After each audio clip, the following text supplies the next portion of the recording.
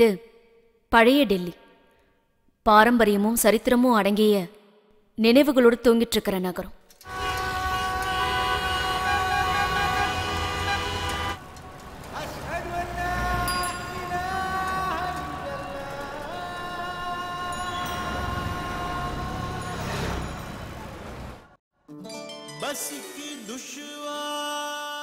தீப்பொறி ஆகின்ற வார்த்தைகளால் எழுத்துக்களின் வர்ணத்தால் உலகைப் படைத்த ஒரு மா மனிதர் மிர்சா காலிப் நினைவுகளால் பவித்திரமடைந்த ஒரு புண்ணிய பூமி தன் வார்த்தைகளுக்கும் வரிகளுக்கும் தேசத்தின் முழு பாசத்தை வாங்கிய மிர்சா காலிப் तो भी मयसर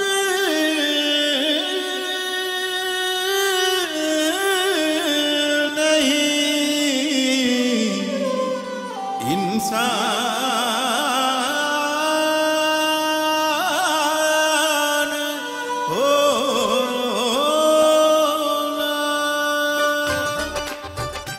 அந்த மாபெரும் கவியின் மரணமில்லா வரிகளை பாடுகின்ற பாடகர்களை தேடும் பயணம் இங்கு ஆரம்பிக்கிறது है और भी दुनिया में सुखनवर बहुत अच्छे कहते हैं कि गालिब का है अंदाज बयान है और भी दुनिया में सुखनवर बहुत अच्छे कहते हैं कि गालिब का है अंदाज बयान एक हंगामे पे मौखूफ है घर की रौनक नौहाए गम ही सही नगमाए शादी न सही। जो मुमकिन है वफा से हो, फरेब उन पे क्या चले? क्यों बदगुमा हूँ दोस्त से दुश्मन के बाब में? इश्क तासीर से न उम्मीद नहीं, जान सिफारिश जेरे बैद नहीं।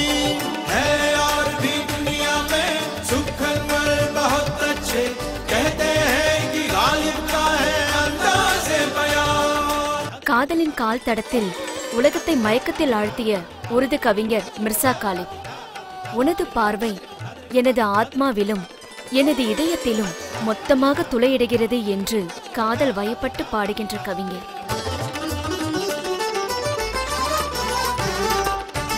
इशरत सोबत है खुबा ही गनीमत समझो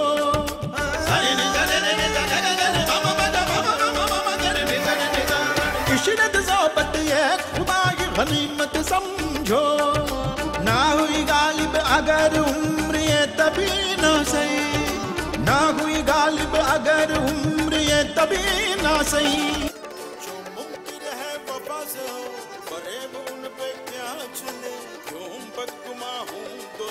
दुश्मन के में इश्क तासीर से ना उम्मीद नहीं, जान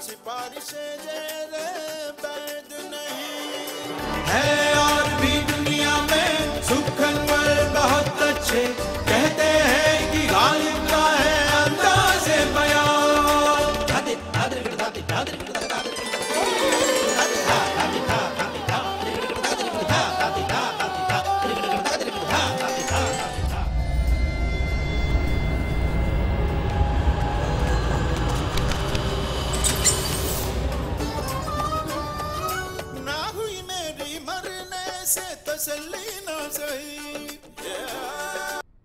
சார் சார் மிர்சா காலிப்போட இந்த வரிகளை பாடுற இவர் கேரளாவில் இருக்கிற கொச்சியில் வாழ்ந்தவர்.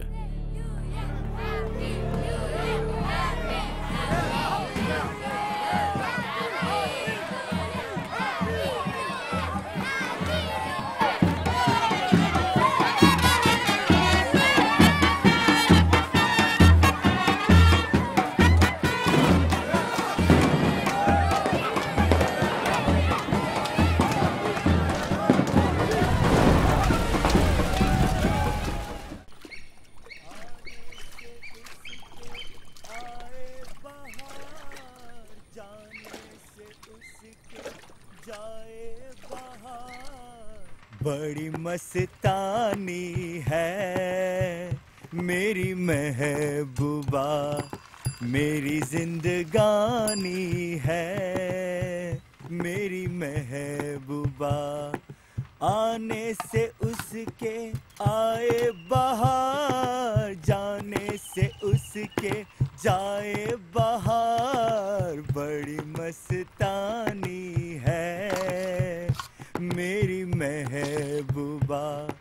मेरी जिंदगानी है मेरी महबूबा ராம் சாஹிப்போட பாட்டையும் பாடி நீ டீ போடுற ஸ்டைல் இருக்கு பாத்தியா டே மாப்ள நீ உண்மையிலே பெரிய கலைஞன் தான்டா என்னடா அதுல சந்தேகம் இருக்கா நீ வேணா குடிச்சு பாரு அப்ப தெரியும் நான் கலைஞனா இல்லையான்னு நீ சாதாரண கலைஞன் இல்லடா. நீ மிகப்பெரிய கலைஞன் தான். உண்மையை சொல்லணும்னா நீங்க இருக்க வேண்டிய ஆளே கிடையாதுடா. கடவுளோட அருள் கிடைச்சவன் தான் கலைஞன். அதை புரிஞ்சுக்க. நீங்க சொல்றது நூத்துக்கு நூறு உண்மைங்க. அதே மாதிரி காலங்காத்தால பாங்குக்கு கூப்பிடுறாங்களே அதுவும் ஒரு கலை தான். ஆ, ஆமாமா இந்த கொச்சியோட மிகப்பெரிய கலைஞன் மெஹபூபாய் என்ன சொல்லியிருக்காரு தெரியுமா? இந்த பாங்குக்கு பைரவி ராகமா. அப்படியா? ஆமா. கேயா பாய். ஆ டீகோ டீகோ காலங்காத்தால சாப்பிடறதுக்கு எதுவுமே இல்லையா? அதெல்லாம் இப்ப அவ வீட்லயே செஞ்சு எடுத்துட்டு வரால எல்லாருக்கும் பிடிச்ச மாதிரி பலகாரத்தோட அவ இப்ப இங்க வந்துருவா. இவனோட யூத பொண்டாட்டி.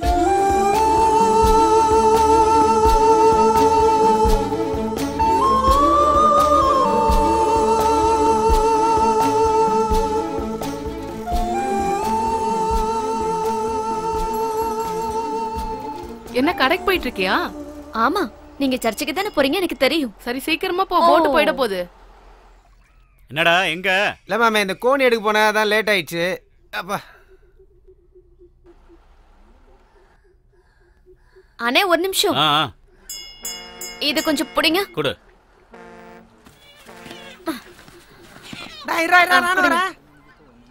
யோ சீக்கிரமா உள்ள ஏரியா ஆ போலாம் ரைட்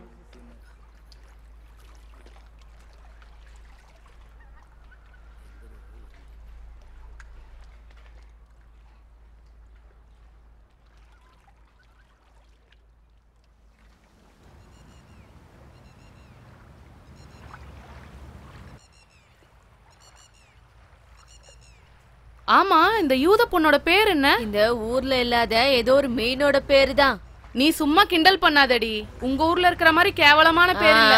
மரியா மீன். நல்ல பேரு தான் ஆமா. ஆமா அழகான மீன் இந்த ஊர்லயே இல்ல. ரொம்ப நல்ல பொண்ணு தெரியுமா?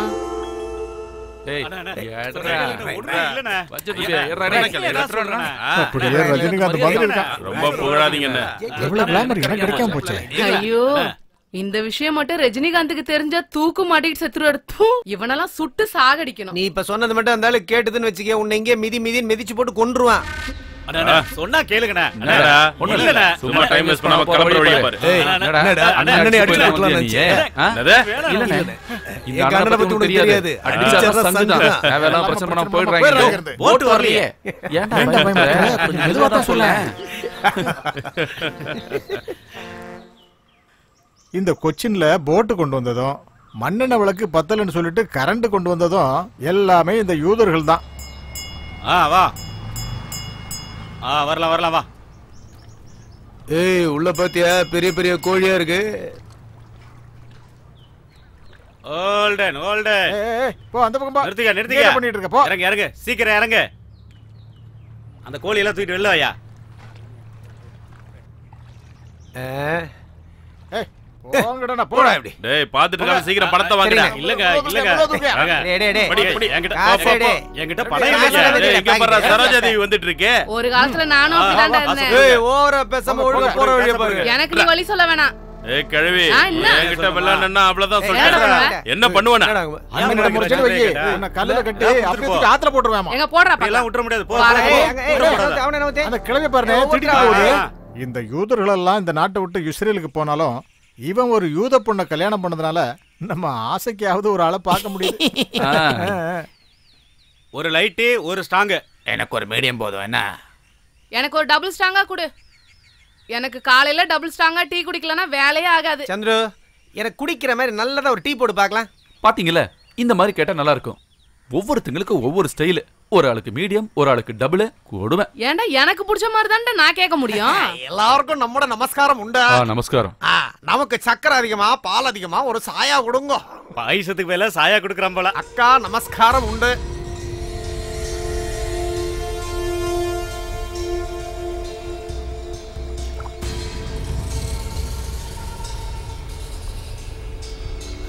அப்பா நம்ம சாப்பிட்றதுக்கான பொருள் வந்துருச்சு. நமக்கு சாயா கொஞ்சம் சீக்கிரம் கொடுங்கோ. சரிப்பா வரேன்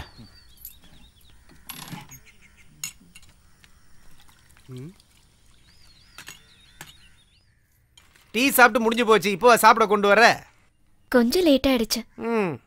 அப்பனே கப்பல் வந்து ரொம்ப நாள் ஆயிடுச்சு. வீட்டில் வேற நிலைமை ரொம்ப மோசமா இருக்கு. இவனுக்கு தங்கம் வைரம் இந்த மாதிரி ஒன்றுமே தேவையில்லை.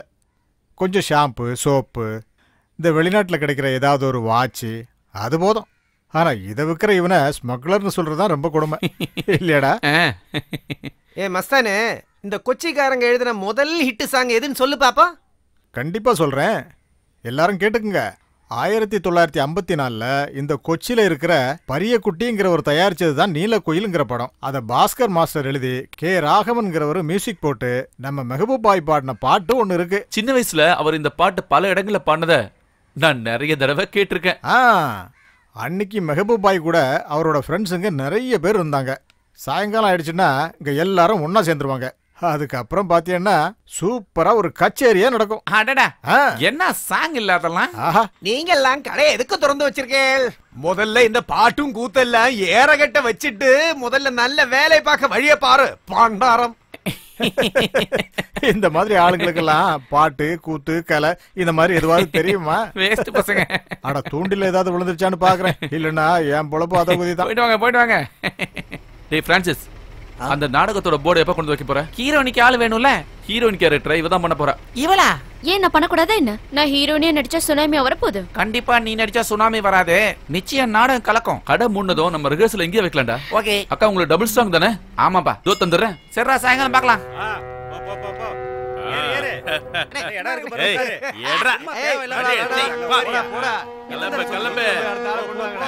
சொல்லிட்டேன், சொல்லிட்டேன். இன்னைக்கு ஒரு முடியாது. ஏதோ கப்பல் வர மாதிரி தெரியுதே. மஸ்க் லைனா இல்ல ஓக் லைனா? ஏய் பிள்ளைங்கடா. ஏய் மஸ்க் லைன் வந்துட்டு இருக்குடா. என்னது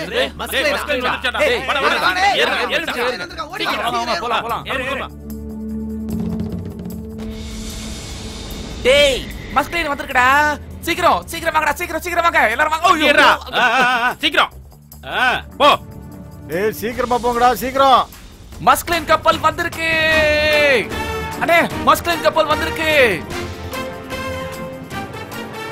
டேய் பழனி டேய் பெருமாளே டேய் முத்து சீக்கிரம் வாங்கடா. மஸ்கிலைன் கப்பல் வந்திருக்குடா. மஸ்கிலைன் கப்பல் வந்திருக்கு. சீக்கிரம் வாங்க சீக்கிரம் வாங்க. கப்பல் வந்திருக்கான். மச்சி சீக்கிரம் வண்டி விடு வண்டி விடு ஸ்பீடா அவங்க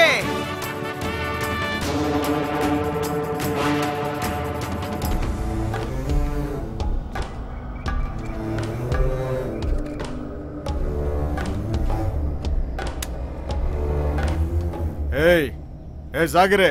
ஏய் ஜாகிர் ஹுசைன் ஏய் ஏய் எங்கடா போய் தொலைஞ்சீங்க? எங்கெல்லாம் தேடுறது உங்களா? இங்க பாரு மார்க்கெட்ல விற்கக்கூடிய எந்த பொருளா இருந்தாலும் சரி அதை உடனே வாங்கிட்டு வந்துரு சரியா. முதல்ல ஏறி பாக்குறேன். கிடைச்சா டுமிலு இல்லனா டமாலு. அந்த மாதிரிலாம் சொல்லாதடா டேய் மார்க்கெட்ல பத்து ரூபா வட்டிக்கு வாங்கின டாலரு. சும்மா பேசிக்கிட்டு இல்லாம கிளம்பியா? அதிர்ஷ்டம் தான் ஒரு பெரிய அமௌண்ட்டை பாத்துடலாம் கிளம்பு. கிளம்பு. கட்டி பிடிச்சுக்கிட்டேன். யாராவது பாக்குறாங்களாடா? யாரும் பார்க்க மாட்டாங்க. நான் ஏற்கனவே சிக்னல் கொடுத்துட்டேன். எந்த பிரச்சனையும் வராது. கொஞ்சம் சீக்கிரமா போயேன்டா. பக்கத்துல போடா பக்கத்துல போ பக்கத்துல போ. சத்தம் போடாதீங்கடா. அவன் தான் ஏறான்ல நை நை நை நை. ஏய், கொஞ்சம் சீக்கிரமா ஏறா உன்கிட்ட டாலர் கொடுத்து அனுப்பிச்சவனுங்க அங்க கரையில கடுப்புல நிக்கிறானுங்க. போ சீக்கிரம். ஏய் சும்மாறா. எல்லாம் எனக்கு தெரியும்டா. ஆமா ஆமா இந்த விஷயத்துல நீ பெரிய கிங் ஆச்சே. ஏய் சீக்கிரம் சீக்கிரம். ம், ம். ஏய் பாத்துல சீக்கிரம்டா. சும்மா இரு, சீக்கிரம் ஏறா. என்ன லேட் ஆயிட்டு இருக்கு? கொஞ்சம் சைலண்டா இருக்கியா? நீ பணம் தான் கொடுத்துருக்க ஸ்மக்லிங்கிறது சாதாரண வேலை கிடையாது பாய் நாங்க பொருள் கொண்டு வந்திருக்கோம் வேணுமா क्या माल है पैसा कितना है உங்களுக்கு தேவையானது எல்லாமே இருக்கு எங்களுக்கு சோப்பு வாட்ச் अच्छा கொடுத்தா போதும் अच्छा ठीक है भेजो भेजो ஆ, ऊपर ஓகே ஓகே ऊपर भेजो அனுப்புறேன் அனுப்புறேன் ஏய் கொஞ்சம் சைலண்டா வாங்கடா சீக்கிரம் சீக்கிரம் வாங்க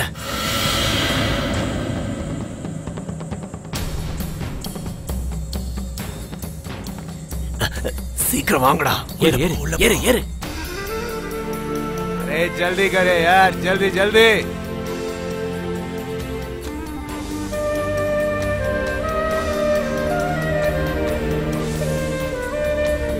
अरे वाह एकदम बढ़िया है साले वाह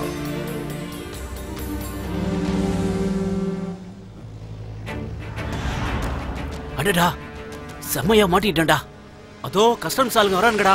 எல்லாரும் சீக்கிரமா குதிங்கடா. சீக்கிரம் தண்ணியில குதிங்கடா. வாங்க. ஐயோ வாங்க. டேய் வாங்கடா வாங்கடா.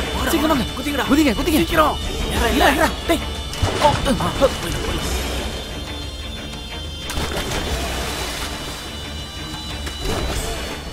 யோ போனவங்களை இன்னும் காண பொழுது வேற விடிய போதியா ஒருவேளை கஸ்டம்ஸ் ஆளுங்க பிடிச்சிருப்பானுங்களோ? ஏய் வாய கழுவியா? என் ரெண்டாவது பொண்டாட்டியோட நகை அடமானம் வச்ச பணம் இது.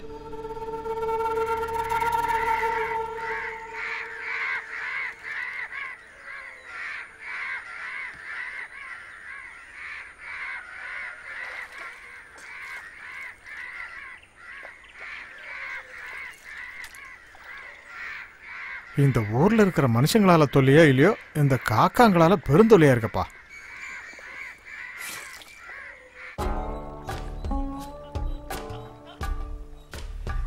ஏய் கொஞ்சம் சீக்கிரம்டா வாடா.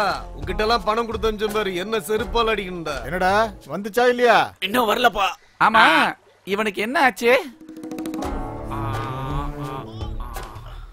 லேட் ஆயிட்டு இருக்குப்பா கொஞ்சம் சீக்கிரம். இதெல்லாம் இப்படி பார்த்துட்டு இருக்கிறதுக்கு உங்களுக்கு வெக்கமா இல்ல? இந்த காத்து பட்டு போற சுகம் இருக்கு பாத்தீங்களா? அது கக்கூசில கிடைக்காது. நேத்து வியாபாரத்துக்கு கொடுத்த டாலரு. போன தடவை வியாபாரத்துக்கு கொடுத்த முந்நூறு டாலரோட எஸ்கேப் ஆயிட்டான். ஆனா இந்த தடவை விடவே மாட்டோம். டேய் டேய் கொஞ்சம் சீக்கிரம்டா டேய். ஏய் வந்தால் மகாலட்சுமியே இப்போ வந்தால். கஸ்டம்ஸ்காரன் வந்தா நான் என்ன பண்ண முடியும்? இந்தா இந்த டாலர் எடுத்துட்டு போய் தின்னு. டாலரை பதுக்கி வைக்கிறதுக்கு உனக்கு வேற எந்த இடம் கிடைக்கலையா சரி வா நமக்கு வேற வேலை சரியா இருக்கு, வா. கழுவலையா? கழுவிக்க. ஏய், நல்லா எண்ணி பாரியா கரெக்டா இருக்குல்ல இவனெல்லாம் நம்பவே முடியாது கரெக்டா தான் இருக்கு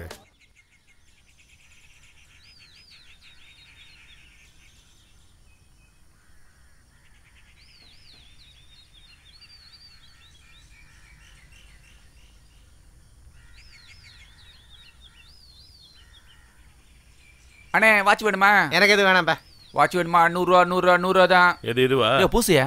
பத்து ரூபா வச்சு நூறு ரூபா உனக்கு படடே ஏன்டா டேய் பத்து ரூபாய்க்கு உனக்கு வெளிநாட்டு வாட்ச் கொடுத்துருவாங்களா? உன்னெல்லாம் தூக்கி போட்டு அப்படியே மெதிக்கணும்டா டேய். டைம் கூட பார்க்க தெரியாது. பரதேசி வாட்ச் வாங்க வந்துட்டான். அண்ணே வணக்கண்ணே. சத்தியமா எனக்கு மணி பார்க்கலாம் தெரியாது ஐயோ உங்களை சொல்லண்ணே. வாட்ச் வேணுமா வாட்ச்? என்ன சரோஜா தேவி எங்க போயிட்டுங்கிற?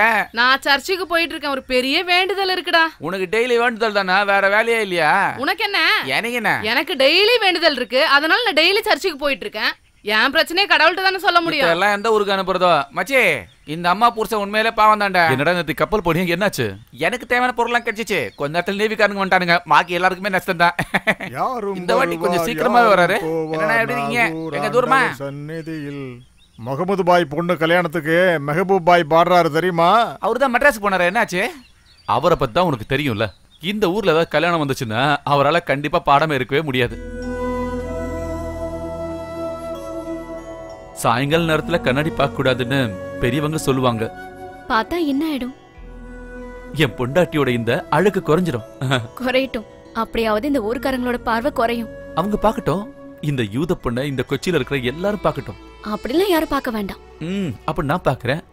கல்யாண வீட்டுல பாயோட பாட்டு கச்சேரி ஆரம்பிச்சிருக்கோம். ம் ம் ம்.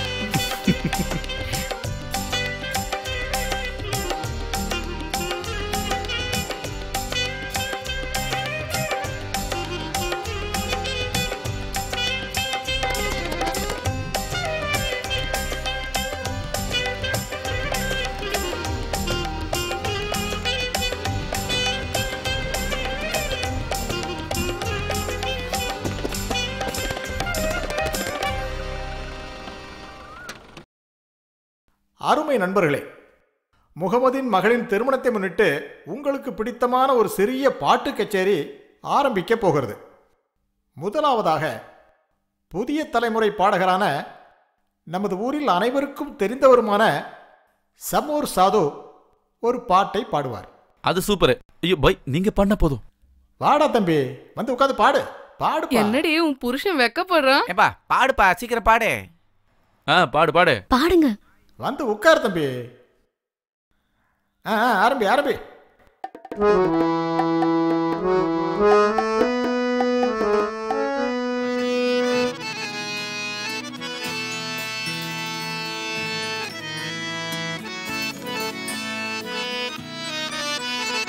சிறு வயதில் நாம் இருவர் மண்ணில் விளையாட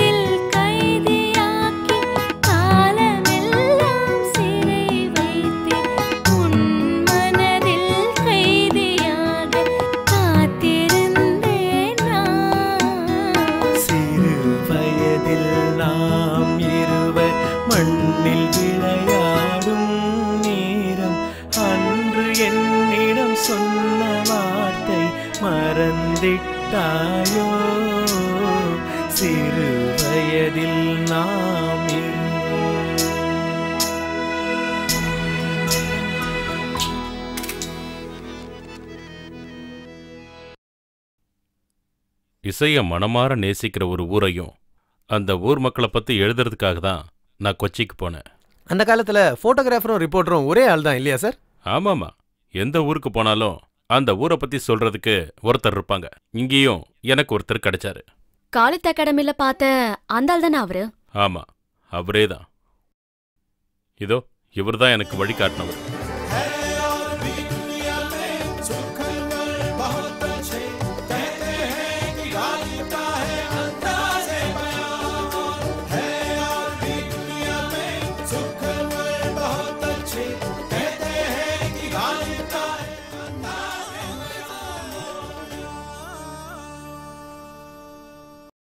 கொச்சியில வாழ்ற மக்களோட வாழ்க்கை முறையை பத்தி தெரிஞ்சுக்கிறதுக்கு மட்டும் நான் அங்க போல. கசலும் கவாலியும் டோலக்கை வச்சுக்கிட்டு பாடுற பாட்டையும் நாடகங்களையும் பார்க்கறதுக்காக தான் நான் அங்க போனேன். கொச்சியோட சரித்திரத்தை தெரிஞ்சுக்கிறதுக்காகவும் நான் என்னோட பயணத்தை ஆரம்பிச்சேன்.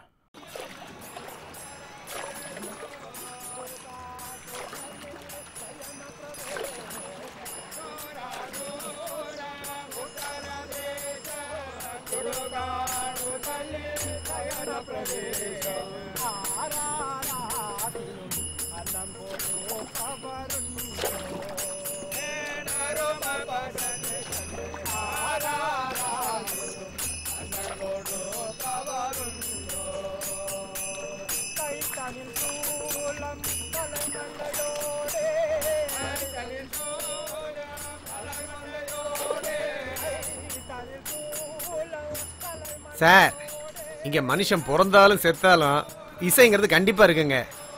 அது எனக்கு புரிஞ்சிருச்சு. இந்த ஊர் முழுக்க கலைஞர்கள் மட்டும்தான் இருக்காங்க சார்.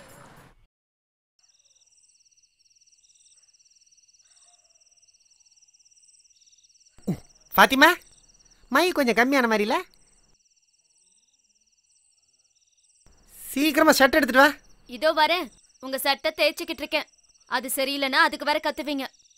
வயசான காலத்துல பாட்டு வேற. அத ஓவரா சுத்தாதீங்க. அதுக்குள்ள காக்கா வந்து உட்காந்துற போகுது இதாண்டி பொறாமைங்கிறது. இந்த ஊருக்கு நான் ஒரு ப்ரோக்ராமுக்கு வரும்போது முட்டாள்தனமா ஒரே ஒரு காரியம் செஞ்சேன். அதுதான் உன்னை கல்யாணம் பண்ணிட்டது. புரியுதா? இந்த பாரு இந்த ஊர்லயே என்ன மாதிரி ஒரு தபிலிஸ்ட் யாருமே கிடையாது. இங்க பாரு செல்லம் நாம எப்பவுமே ரொம்ப சுத்தபத்தமா இருக்கணும். அப்பதான் மத்தவங்களுக்கு நம்ம மேல நல்ல மதிப்பும் மரியாதையும் வரும். ஆ. சரி சில்லறை ஏதாவது வச்சிருக்கியா? ஆமாமா கொட்டி வச்சிருக்கேன்ல இங்க. சரி அதை விடு. அந்த செண்டு பாட்டில் எடு. ரிகர்சலுக்கே இவ்வளவு ஸ்டைல்னா அப்புறம் ப்ரோக்ராம்க்குலாம் எப்படியோ? இந்த கொச்சியில எவ்வளவு தபிலிஸ்ட்டுங்க இருக்காங்க? ஆனா என்ன மாதிரி வருமா? ஆமாமா உண்மைதான். கேவலமா சொல்றாங்க. ஏய் என்னது?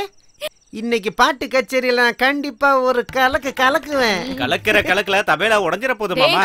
ரொம்ப பேசாம தபலா எடுத்து சைக்கிள்ல வைடா பரதேசி. பரதேசி உங்க அப்பன் தான். நல்லா சொன்னடா உன்னெல்லாம் வச்சு மாரடிக்கிறேன் பாரு. சீக்கிரம் கொண்டு போய் வைடாங்க. போய் நீங்களே வச்சு கட்டுங்க.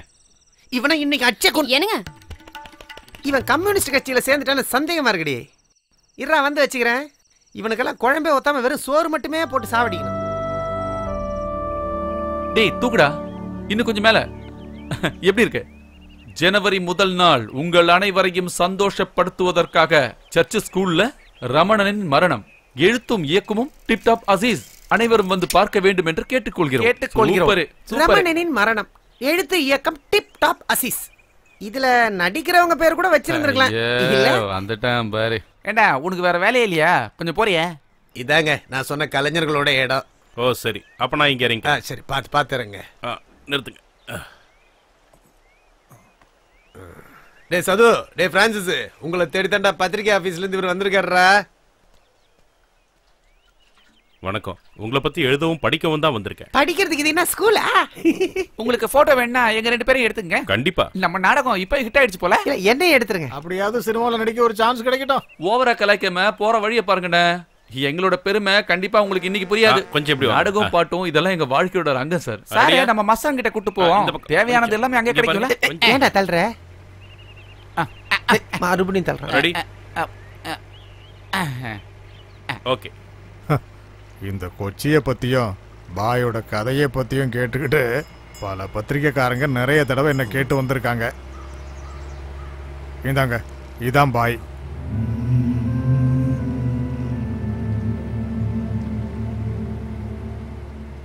இந்த போஸ்டர் என்னன்னு தெரியுதா? இதுதான் மலையாளத்துல முத முதல்ல வந்த திரைப்படம்.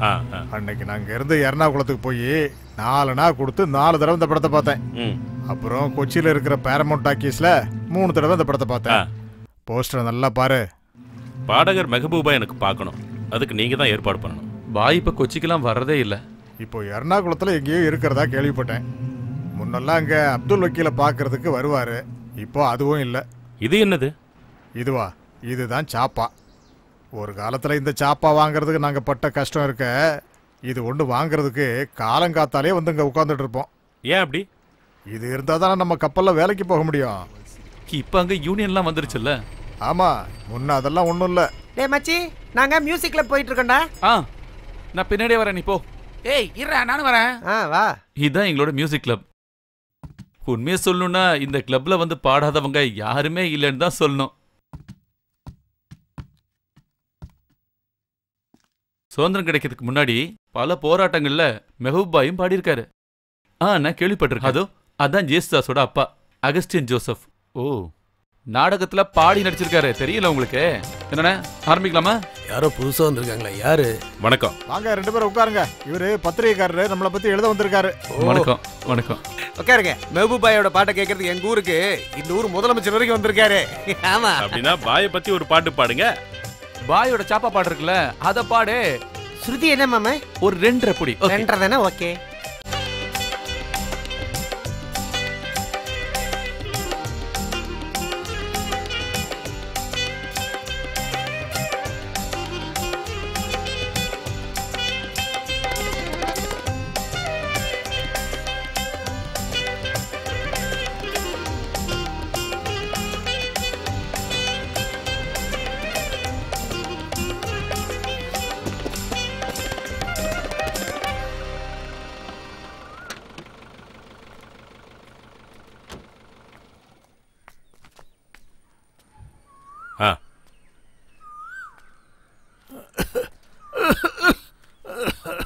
भाई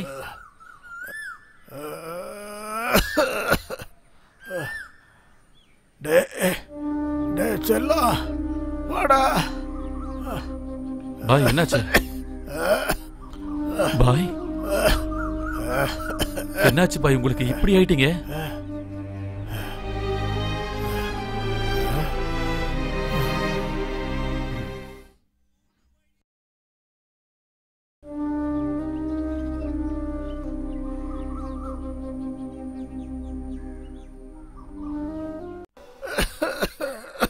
பாய்.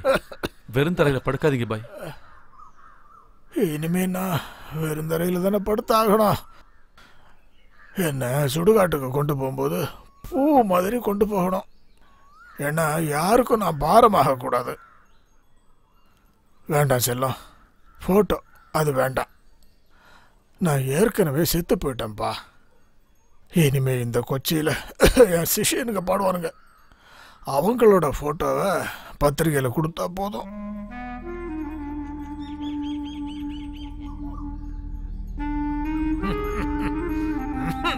பாய். சும்மா கடந்து பேசிக்கிட்டே இருக்காதீங்க. அப்புறம் மூச்சு விட முடியாம மேல போயிட போறாரு. வீட்ல இருக்கவங்களோட மானத்தை வாங்காம உள்ள வந்து படுக்க சொன்னா கேட்க மாட்டாரு கொஞ்சம் உள்ள வரீங்களா? மெதுவா. பார்த்து நடங்க. ஏன் தான் உயிரை வாங்குறாரோ? சொன்னா கேட்க மாட்டாரு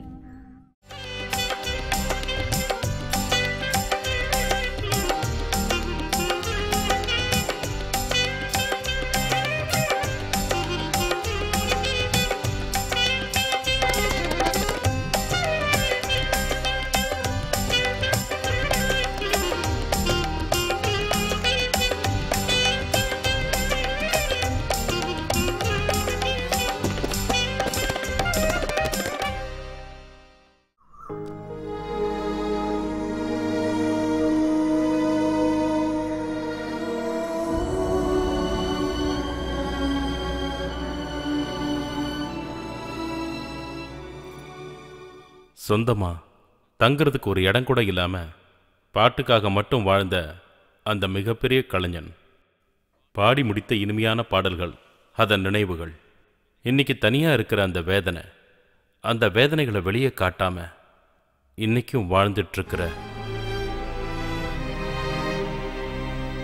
ஒரு நல்ல மனிதர்.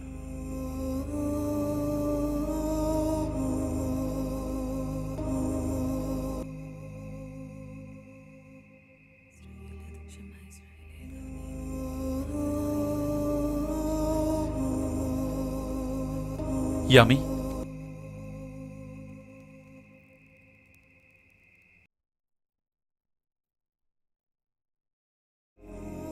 பாயோட நிலைமை ரொம்ப மோசமா இருக்கு. ஒரு சொந்தக்காரங்க வீட்டில் தான் இருக்காரு. பாவம். அவருக்கு இன்னும் கொஞ்சம் ஆயுஸ் கடவுள் தான் கொடுக்கணும். நாளைக்கு நான் கோயிலுக்கு போகும்போது உங்களுக்காக பிரார்த்தனை பண்றேன். அதே மாதிரி எங்க அப்பா அம்மாக்காக. நான் கலர வரைக்கும் போகணும்.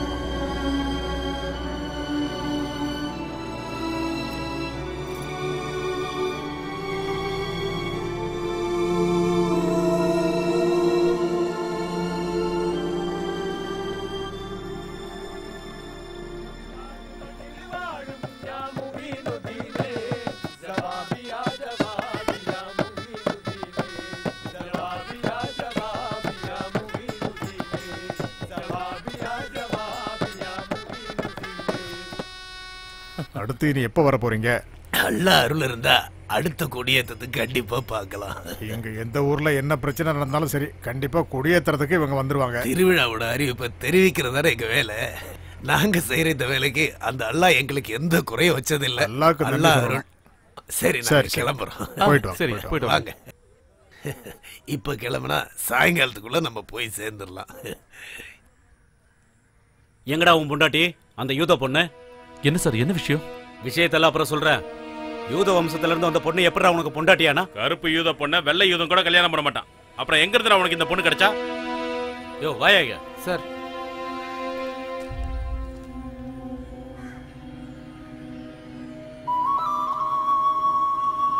உனக்கு இந்த ஆளை தெரியுமா? கேட்ட கேள்விக்கு பதில் சொல்லு. பதில் சொல்ல போறியா இல்லையா? தெரியும் சார். இவளோட அண்ணன் தான் அவரு. எப்படியோ இதுல எந்த சந்தேகமும் இல்லாததுனால பிரச்சனை சுமூகமாயிருச்சு.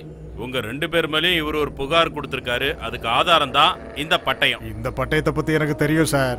யூத முதலாளியான ஜோசப் ரஃபானுக்கு இந்த உலகமும் சந்திரனும் இருக்கிற வரைக்கும் பரம்பரை பரம்பரையா கிடைச்ச 72 ரெண்டு உரிமைகளுக்கும் வரி குறைப்பு பத்தின பத்திரம் தான் இந்த பத்திரம். அந்த பத்திரப்படி பார்த்தா இவருக்கு சொந்தமான இடத்துல தான் இப்ப நீங்க இருக்கீங்க.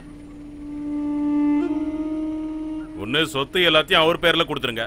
இல்லனா பணம் கொடுத்து நீங்களே வாங்கிக்கோங்க. எனக்கு உடனே இஸ்ரேல் போயாகணும் இந்த சொத்து எல்லாமே எனக்கு சொந்தமானது. அதுக்கு ஒரு முடிவு தெரிஞ்சாகணும். எல்லாம் சீக்கிரமா நடக்கணும். இல்லனா ரெண்டு பேரும் தூக்கி உள்ள போட்டுருவேன். போயா போலாம். அந்த போலீஸ்காரங்க சொன்னது எல்லாமே உண்மைதான்பா. கருத்த யூத குடும்பத்துல பிறந்த இவன் வெள்ளை யூத பொண்ணான யாமினியை லவ் பண்ணுற விஷயம் அவங்க வீட்டுக்கு தெரிஞ்சுது. இதை தெரிஞ்சதை அவங்க அப்பாவும் அம்மாவும் கடலில் குதித்து செத்துட்டாங்க.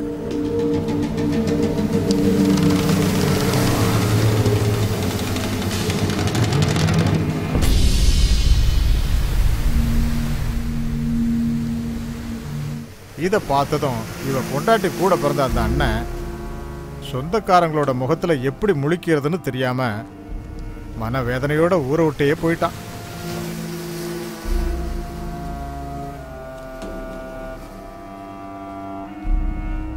அன்னைக்கு ஊரை விட்டு போன இவளோட அண்ணன் தான் இன்னைக்கு திரும்ப வந்திருக்கான்.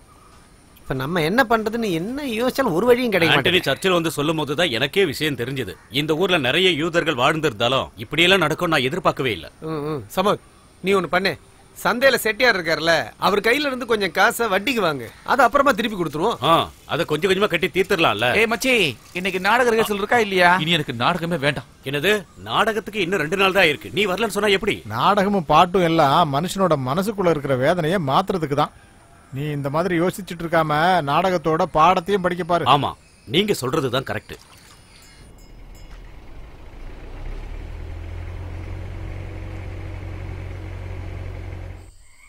யாராவது ஓடி வாங்க. என்னடி என்னாச்சு? யா அல்லா என்னடி என்ன விஷயம்? நீங்க அந்த பக்கம் கொஞ்சம் பாருங்களேன். எந்த பக்கம் பார்க்க சொல்ற? தூக்குமாடி சேர்த்த என்ன பாய் விரிச்சா படுத்துட்டு இருக்கேன். மேல பாருமா அங்க மேல பாரு. சும்மா டார்ச்சர் பண்ணிட்டு உயிரை வாங்கிட்டு. சரி இன்னொரு தடவை பண்ணு. கரெக்டா பண்ண. யாராவது ஓடி வாங்க ஓடி வாங்க. என்ன என்னாச்சு? யா அல்லா. என்ன விஷயம்னு சொல்லு. நீங்க அந்த பக்கம் பாருங்களேன். எங்க பார்க்க சொல்ற? அதுவும் அந்த மரத்துக்கு மேல பாருங்க. ஐயோ கடவுளே அங்க யாரோ தூக்கு மாட்டி தூக்கிட்டு இருக்காங்க. கடவுளே இப்படி ஆயிடுச்சு. ரெண்டு பேரும் சேர்ந்து ஒரு கலக்கு கலக்க போறாங்க. நீங்க வேணா பாருங்க. நாளைக்கு நாடகம் சூப்பர் ஹிட் தான். கலக்கு மச்சி. நேரத்துல இப்பதானே நான் வர வேண்டிய சீனு ஆமா. மிஸ்டர் கணேஷ் காந்த் கிட்ட நீங்க விசாரணை பண்றதா அடுத்த சீன்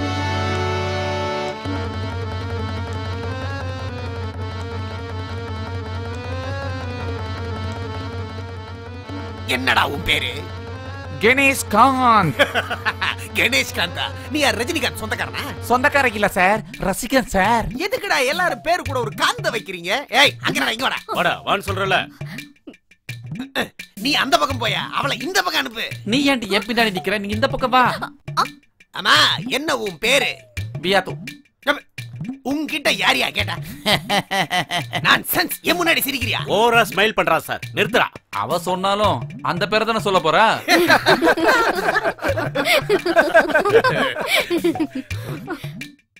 ஆமா அவ என்ன ஊயா சீக்கிரமா ஆயிடுவா. என்னது? உம்மா. உம்மா போறேன்னு தானே கேட்டீங்க. டேய் இத பக்கம் மாடா ம். அண்ணே. ஊத்துடா. நீங்க நாடகம் போக போலியா? என்னது போகலையாவா? ஏற்கனவே அந்த யூத பொண்ணை பார்த்து இவரால உட்காரவே முடியல. ஏய் இங்க பாரா. நீ இன்னொன்னு ஊத்துற. பிறக்கும் போதும் அழுகின்றான். இறக்கும் போதும் அழுகின்றான். சருக்கு அடித்தாலும் காசு கேட்கின்றான். டேய் எனக்கு அந்த யூத பொண்ணை கொஞ்சம் விலாவரியா பார்க்கணும். வாங்கடா. ஆ போலாம். நிறுத்துங்க. அன்பான ஊர் பெரியவர்களே கோவில் உறுப்பினர்களே குழந்தைகளே நிறைய மதங்களும் நிறைய மொழி பேசுற ஊர் தான் நமது கொச்சின் என்னோட தலைமையில இன்னைக்கு இங்க நடந்த இந்த நாடகமும் இந்த புத்தாண்டு நிகழ்ச்சிகளும் இது எல்லாமே இங்க நடக்கிறதுக்கு காரணமா இருந்தது டிப்டாப் ஆசிஸ்ங்கிறது உங்க எல்லாருக்கும் நல்லா தெரியும். ரமணனோட மரணம் அப்படிங்கிற இந்த நாடகம் ரொம்ப அழகா இங்க நடத்தினாரு. அதை நீங்க எல்லாரும் பாத்தீங்க இந்த வேலையில இந்த நாடகத்துல நடிச்ச எல்லா கலைஞர் பெருமக்களையும் கலைஞிகளையும் இந்த ஊர் மக்கள் சார்பிலையும் இந்த ஊரோட சர்ச்சி ஃபாதர்ங்கிற என்னோட சார்பிலையும் அன்பான பாராட்டுகளை தெரிவிச்சுக்கிறேன். ஸ்டேஜ்ல பாக்கும்போது நீ அரேபிய இளவரசி மாதிரி இருந்த. ஆ இந்த பொண்ணுக்கு வெக்கத்தை பாரு. வீட்ல பொண்ணு மட்டும் தனியா இருக்கா? நான் கிளம்பட்டுமா? ம். ஆ என்னண்ணே சைக்கிள்ல வந்தீங்களா? இல்ல நான் சைக்கிள் கொண்டு ஆ, வரல. அண்ணே அண்ணே நாடகம் எப்படி இருந்துச்சுண்ணே ஆ ரொம்ப அழகா நடிச்சப்பா. கலக்கிட்டேன். எல்லாரும் நல்லா நடிச்சீங்க. அந்த தபிலிஸ்ட் தான் ஏன் ஓடி போயிட்டான்?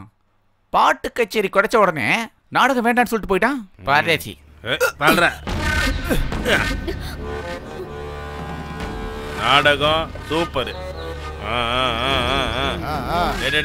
போலீஸே. நீ இன்னும் கொஞ்சம் இன்னும் கொஞ்சம் நல்லா நடிக்க ட்ரை பண்ற. என்னமோப்பா எனக்கு இவ்வளவுதான்ப்பா நடிக்க வரும் உங்க அளவுக்கு ஓவர் ஆக்ஷன் வராது. ஏய். என்னடா கிண்டல் பண்ணியா ஆ? என்ன கிண்டல் பண்ற அளவுக்கு வளர்ந்துட்டியா? அண்ணனையே கிண்டல் பண்றியா நீ? உன்னை பாரு பாரு. யாரையும் விட மாட்டேன்டா. ஆனா நீ பயப்படாத. அழகான பொண்ணுங்களை நான் வேதனைப்படுத்த மாட்டேன்.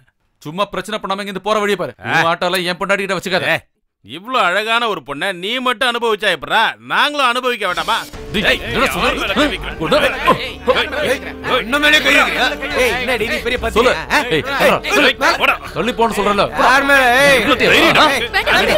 பிரச்சனை பண்ணாம மரியாதையா இங்கிருந்து போறேன். ஆ, போங்கப்பா. யூதங்க கையில இருந்து தட்டி பறிச்ச இவனுக்கு மட்டும். டேய், நவுந்து நில்லுப்பா. இவள கண்டிப்பா கொடுப்பேன் நினைச்சே பார்க்க வேண்டாம். ஆமா. தம்பி நீ ஒழுங்கா போறியா இல்லையா? நீங்க சொல்றதுனால போறேன். போ. அட போப்பா. ஆ, போறேன் போறேன் ஓகே. ஏய் வாங்கடா. போ, போங்க போங்க போங்கடா போங்கடா, போ. போ. ஏய், எவன்டா அவன் பின்னாடி வந்து இடிக்கிறது போடா யோ நீ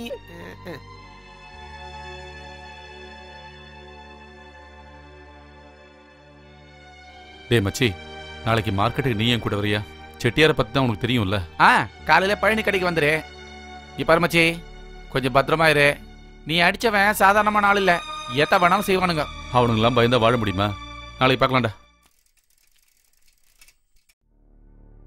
இந்த பையன் இன்னும் பணமே தரலையே. டேய் அந்த காசியம் பையன் நாலு மாசம் ஆச்சுடா. அவங்கிட்ட இருந்து இது வரைக்கும் வட்டியும் இல்ல அசலும் இல்ல. ம் இன்னைக்கு அதை வசூல் பண்ணி ஆகணும் இல்லன்னு வையே அவனை அப்படியே தூக்கி கொண்டு வந்திருக்கேன் என்ன? டேய் அண்ணன் சொல்லுது புரியுதா இல்லையா?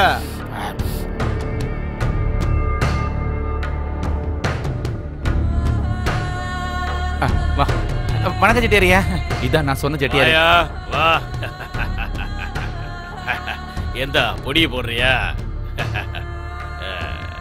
இந்த தம்பி ஆ, உக்கார் உக்கார் உக்கார். ஹோட்டல் வியாபாரம். இல்லையா? வா. ஏ, வாங்குற பணத்தை கரெக்டா வட்டியோட திருப்பி தருவேன் இல்லையா? டேய் தந்துருவேன்னு சொல்றேன். கரெக்டா தந்துருவீங்கய்யா தந்துருவான் அந்த ஊர்ல மொத்தத்துல பாத்தீங்கன்னா இவன் கடை மட்டும்தான் அங்க இருக்கு. கவலைப்படாதீங்க. கண்டிப்பா திருப்பி தந்துருவான். வராம இருந்தா சரி. வந்தா. தரலனா அது வரைக்கும் நீ அடைச்ச கடனும் உன்னோட ஹோட்டலும் கோவிந்தா. புரிஞ்சதுல? எரிச்சிருவாரு பாத்துக்க. பயமுறுத்தாதீங்கடா. கையில் இந்தாங்க இந்தாங்க இதுல கையெழுத்த போடுங்க. போடுறேன்.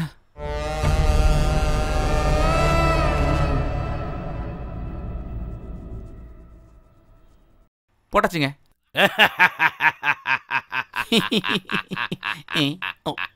நாளை காலை நமது ஊரில் மிகப்பெரிய மல்யுத்த போட்டி நடக்கப் போகிறது. அனைவரும் வந்து கலந்து கொண்டு போட்டியை சிறப்பிக்குமாறு கேட்டுக்கொள்கிறோம். அனைவரும் மறக்காமல் வர வேண்டும். நாளை காலை நமது ஊரில் மல்யுத்த போட்டி நடக்கப் போகிறது. அனைவரும் வர வேண்டும்.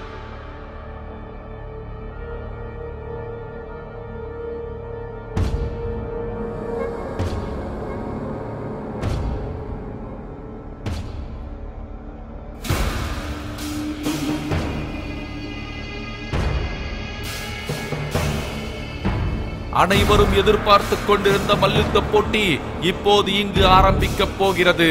மதுரையைச் சேர்ந்த கபாலியும் திருச்சியைச் சேர்ந்த மாஷாவும் இங்கு மிகப்பெரிய அளவில் மோதிக் கொண்டிருக்கிறார்கள். இவர்களில் யார் ஜெயிக்கப் போகிறார்கள்? அதை பொறுத்திருந்துதான் பார்க்க வேண்டும். அதோ மாஷா அடித்து விட்டார். கபாலி பார்த்து கொண்டே இருக்கிறார். சமயம் பார்த்து கண்டிப்பாக அவரும் தனது திறமையை காட்டுவார் என்று நாம் இங்கு எதிர்பார்க்கலாம். இந்த போட்டி இந்த போட்டி சற்று விறுவிறுப்பாகவே நடந்து கொண்டிருக்கிறது. இன்னும் சற்று நேரத்தில் யார் ஜெயிக்கப் போகிறார்கள் என்று நமக்கு தெரிய போகிறது. இதோ இதோ இங்கு பாஷா பாஷா சற்று பின்தங்கியுள்ளார். அதோ கபாலி கபாலி திரும்பவும் தனது திறமையை வெளியே எடுத்துக்கொண்டு தனது எதிராளியான பாஷாவை அடித்து நொறுக்கிக் கொண்டிருக்கிறார். அதோ பாஷா தனது வீரத்தை மீண்டும் வெளியில் எடுத்து கபாலியை கபாலியை. அதோ சாய்ப்பதற்காக தனது முகத்தை தோன்றுகிறது. இந்த போட்டி அதோ சாய்த்து விட்டார். பாஷாவை சாய்த்து விட்டார் கபாலி. கபாலி தனது திறமையை எடுத்து டேய், ஆண்டியப்பா. பாட்ஷாவை இதோ நிக்கிறா அடித்து பாரு அந்த விட்டார். யூத பொண்ணு. இதோ ஜெயித்து விட்டார் ஜெயித்து காட்டி விட்டார் ஆனால் யாரும் எதிர்பார்க்காத நேரத்தில் பாஷா தனது திறமையை மீண்டும் எடுத்து அதோ கபாலியை சாய்க்க பார்க்கிறார் பார்த்து கொண்டே இருக்கிறார் ஆனால் சற்றும் சாய்க்காமல் ஆ, கபாலி கபாலி திறமையை திறமையை காட்டுகிறார் அதோ அதோ அதோ இந்த ஆட்டத்தை அனைவரும் பார்த்து கொண்டிருக்க பாஷா தனது திறமையை வெளியே அதோ,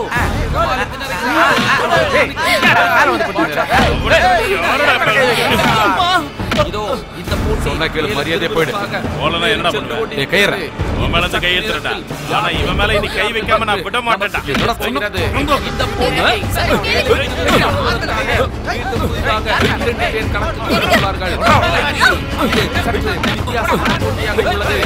மிகப்பெரிய ஒரு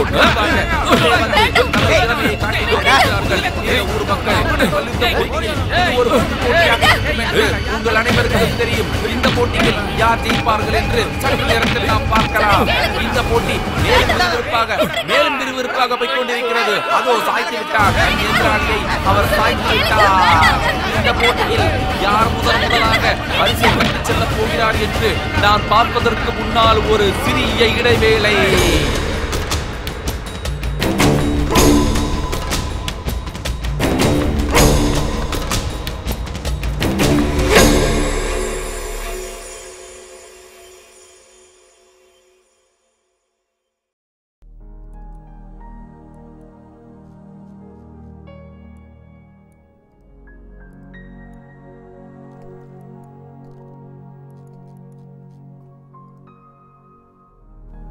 ஒரு ஆள் மாதிரி ஒன்பது பேர் இருப்பாங்கன்னு கேள்விப்பட்டிருக்கேன். ஒன்பது இல்ல ஒன்பதாயிரம் பேர் இருந்தாலும் இது சமாவர தவிர வேற யாரும் இல்லை.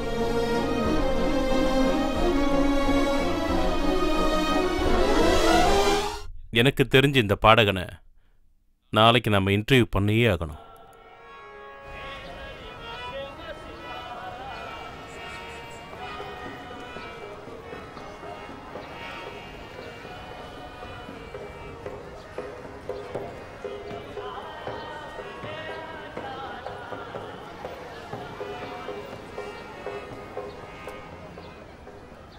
எனக்கு தெரிய வேண்டியது ஒன்று மட்டும்தான்.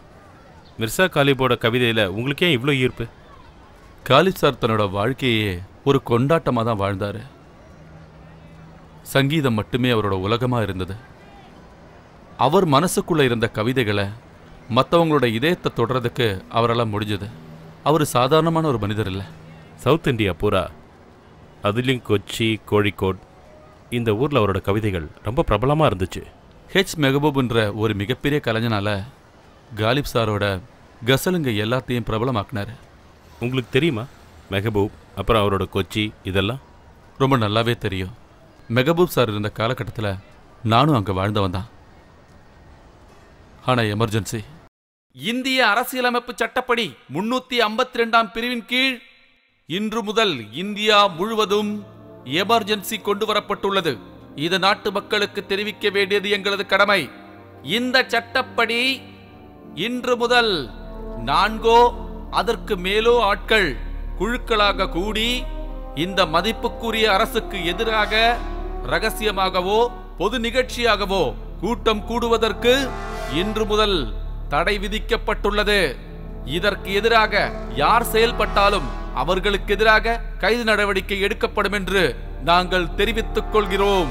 இந்திய அரசியலமைப்பு சட்டப்படி முன்னூத்தி ஐம்பத்தி ரெண்டாம் பிரிவின் கீழ் இன்று முதல் இந்தியா முழுவதும் எமர்ஜென்சி கொண்டு வரப்பட்டுள்ளது இது நாட்டு மக்களுக்கு தெரிவிக்க வேண்டியது எங்களது கடமை. இந்த சட்டப்படி இன்று முதல் நான்கோ அதற்கு மேலோ ஆட்கள் குழுக்களாக கூடி இந்த மதிப்புக்குரிய அரசுக்கு எதிராக சார் சார் ஐயோ, எனக்கு தெரியாது சார். அவனுக்கு சார், ஒண்ணும் சார், தெரியாது வாடா, சார். சார், அவனை வாடா. விட்டுருங்க. இழுத்துட்டு வாடா, வாடா. அவனை விட்டுருங்க சார். வாடா இங்க. ஐயோ, என் பிள்ளைய விடுங்க. சார், எனக்கு தெரியாது. அவனுக்கு எதுவுமே தெரியாது சார். விட்டுருங்க சார். எனக்கு எதுவும் தெரியாது சார். சார், ஐயோ, என் பிள்ளைய விடுங்க. எங்க அம்மா மேல கை வச்சா சார், ஐயோ, என் புள்ள. அம்மா. சார், எனக்கு என் எதுவும் புள்ளைய தெரியாது விடுங்க. சார். சார், சார், எனக்கு எதுவும் தெரியாது சார். சார், விட்டுருங்க சார். சார், சார், என்ன சார் நீங்க? சொன்னா கேளுங்க சார். சார், எனக்கு எதுவும் தெரியாது. சார், சார், எனக்கு சார், தெரியாது. பாவம் எனக்கு சார். தெரியாது ஏய். சார். சார், சார், சார், என்ன சார்? சார், ஐயோ, சார், தெரியாது சார். சார், என்னை விட்டுருங்க சார். சார். எமர்ஜென்சி டைம்ல அந்த ஊர்ல இருந்த கிட்டத்தட்ட எல்லாரையும் போலீஸ் கொண்டு போயிட்டாங்க. எமர்ஜென்சி முடியிற வரைக்கும் அந்த பழனி எங்க போனானே தெரியல. அவன் ஜெயில இருந்தானா? ஹாஸ்பிட்டல்ல இருந்தானா? யாருக்கும் எதுவும் தெரியாது. உண்மையா சொல்லணும்னா எமர்ஜென்சி முடிஞ்சதுக்கு அப்புறம் தான் அந்த ஊரே இயல்பு நிலைக்கு வந்தது.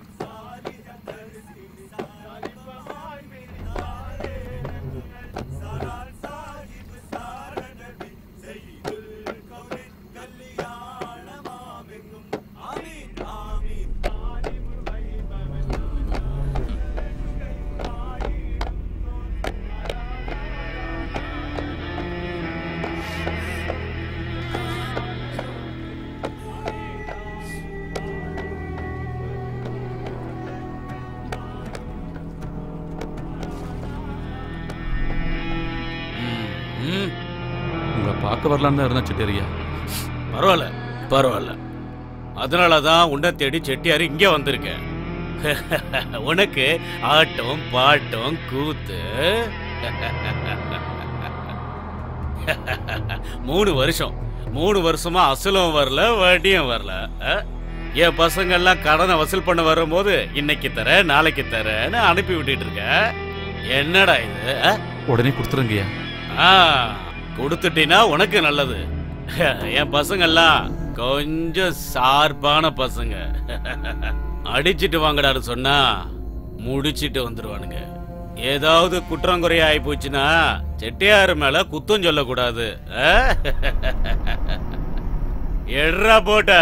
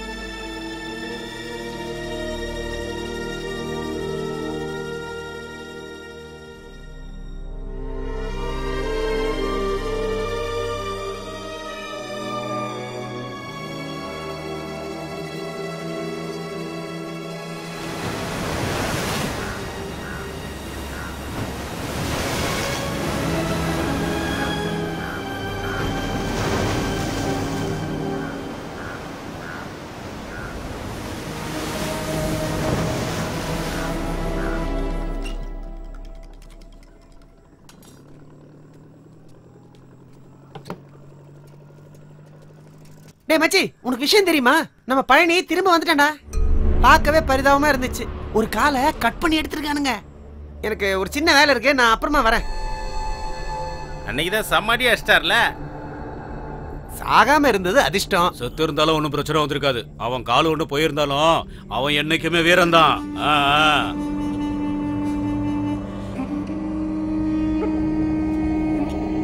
ஆ, ரெண்டு இட்லி ஒரு வடை. சீக்கிரம். சொல்றது கேட்கலையா ரெண்டு இட்லி ஒரு வடை சீக்கிரம் கொடுப்பா. இதோ இப்ப தந்துடுறேன்.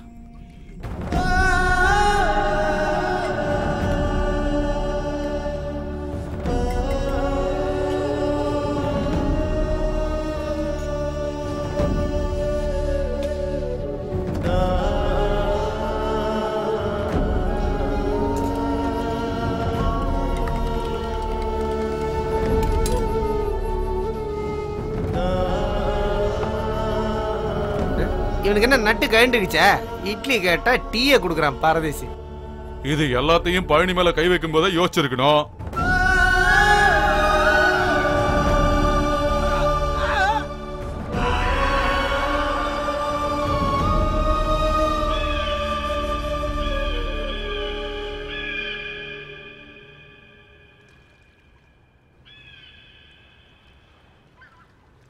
எவனுமே மதிக்கலன்னு. நீங்க போனதுக்கு அப்புறம் எல்லாம் நாயை பாக்குற மாதிரி பாக்குறானுங்க மூணு மாசத்துக்கு முன்னாடியே நம்ம குரு செத்துட்டாரு. தெரியுமில்ல உங்களுக்கு? அவர் போனதோட எல்லாமே முடிஞ்சு போச்சுண்ணே. இங்க பாருங்கண்ணே இப்ப நீங்க வந்ததுக்கு அப்புறம் தான் எங்களுக்கு ஒரு நம்பிக்கையே வந்திருக்கு.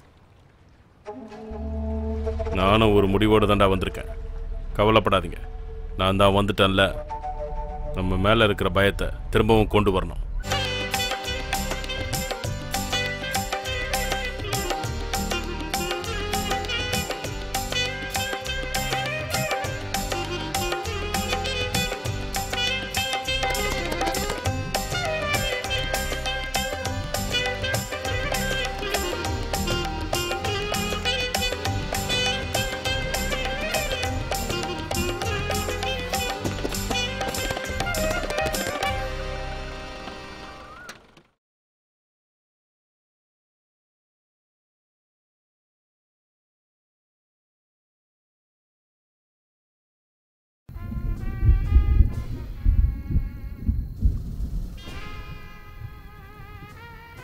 இந்த எமர்ஜென்சி டைமில் எத்தனை பேரை இந்த போலீஸ்காரனுங்க கொண்டுட்டானுங்க தெரியுமா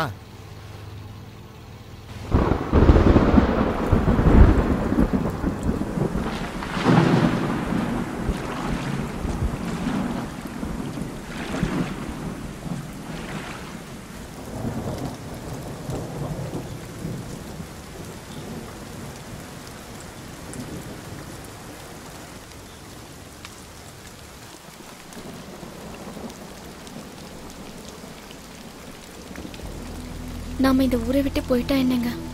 என்ன பேசுற நீ? இங்க பாரு. நீ பயப்படாம இரு. அந்த செட்டியாரு அப்புறம் அந்த பழனி.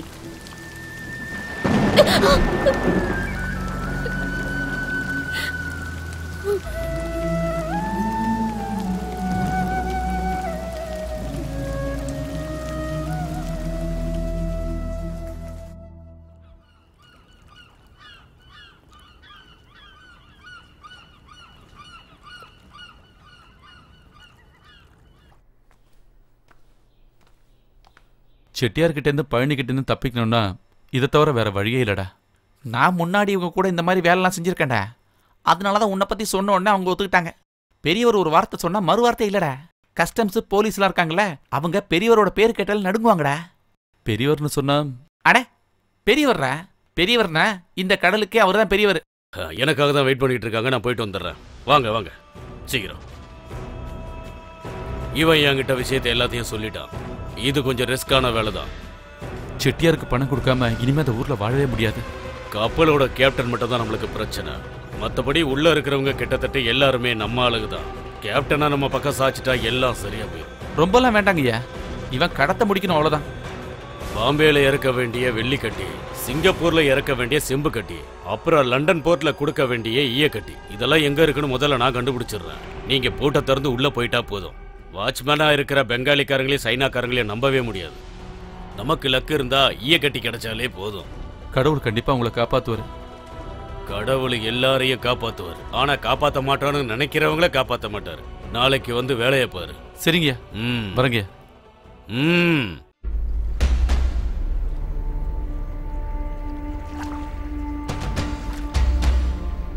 கிட்ட போ கிட்ட போ சீக்கிரம்.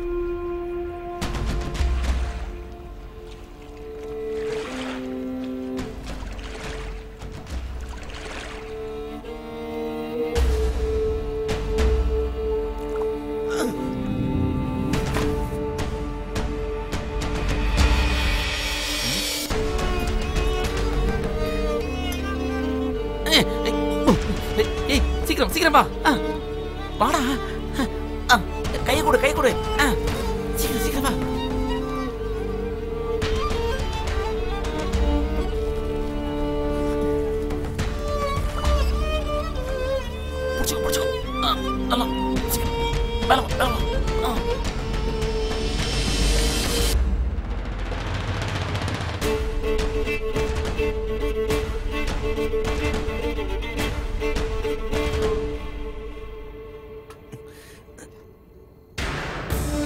Some noise. Come on, let's go and check.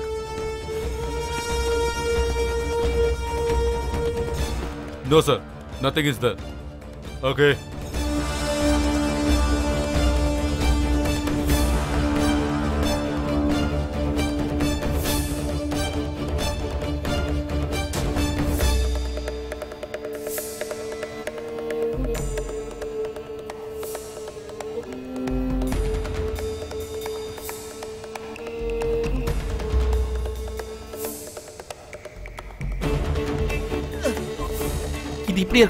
அதான் நல்லது. டார்ச் அடி டேய் பார்த்து இதுவா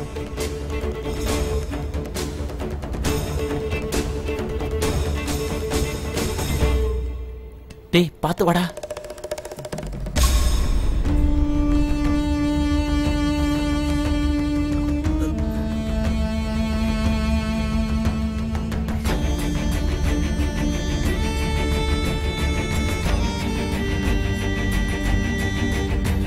என்னடா அது எல்லாமே ஈயம் தான்டா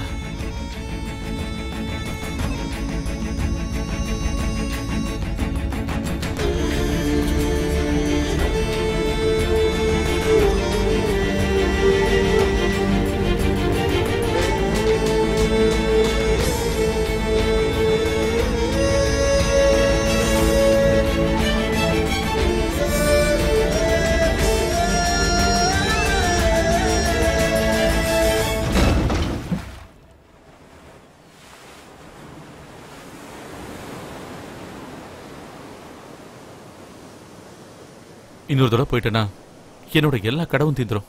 உங்களை கண்டிப்பா கடவுள் காப்பாத்துவாரு. மனிதர்களோட வேதனை தெரியாத மனிதர்கள் இருக்கிற இந்த ஊர்ல ஒரு மனிதன் செய்யற சின்ன உதவின்னு நீ நினைச்சுக்கிட்டா போதும்.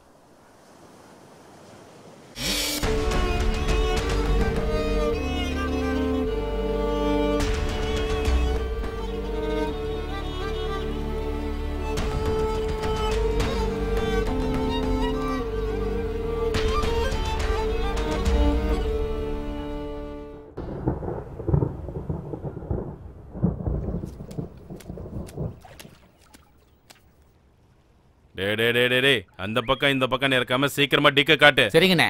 அண்ணே கப்பல்ல திடுறதுக்கு இன்னைக்கு அவன் போயிருக்கானாமா? போட் எடுறா நீங்க வர வேணாண்ணே. அவனை நாங்க பாத்துக்கிறோண்ணே. என்னோட இந்த காலை அவன் அநியாயமா எடுத்துட்டான்ல. கஸ்டம்ஸ்காரங்க கிட்ட போட்டு கொடுத்தாவது அவன் கதையை நான் முடிக்கிறேன். எல்லாரும் வாங்கடா சீக்கிரம். வாங்கடா. ஆமாண்ணே. அவனை விடக்கூடாது. அவனை விடக்கூடாதுண்ணே டேய் விட்றா அண்ணே ஆ, கை பிடிங்கண்ணே.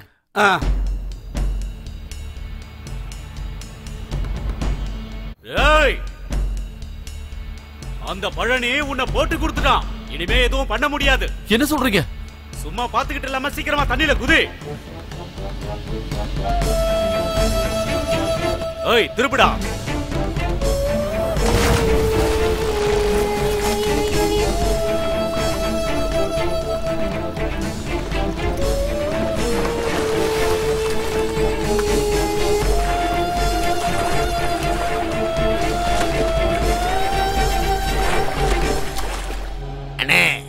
நீங்க உண்மையாவே கலங்கிட்டீங்கண்ணே கரைக்கு வந்த உடனேயே அவனுக்கு ஒரு மரணடி கொடுக்கணும்னு நான் நினைச்சேன். டேய் டேய் சதாசிவம். ஆ. அட்டகாசமா ஒரு பாட்டை பாடுறா. அந்த மடப்பைய மகனுடைய நெஞ்சில் இருக்கும் மஞ்சா சோற கிழிச்சு எடுத்து உமுக்கி கமுக்கி அந்த நெஞ்சில் உள்ள மஞ்சா சோறை பிச்சு எடுத்து ஊருக்கு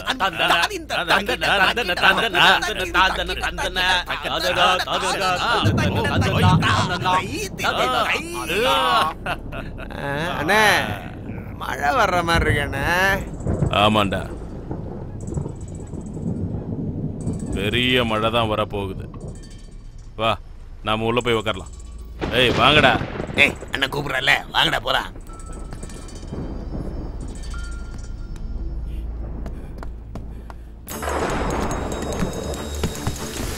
டேய் டேய் அவன் வந்துட்டாடா வாங்கடா.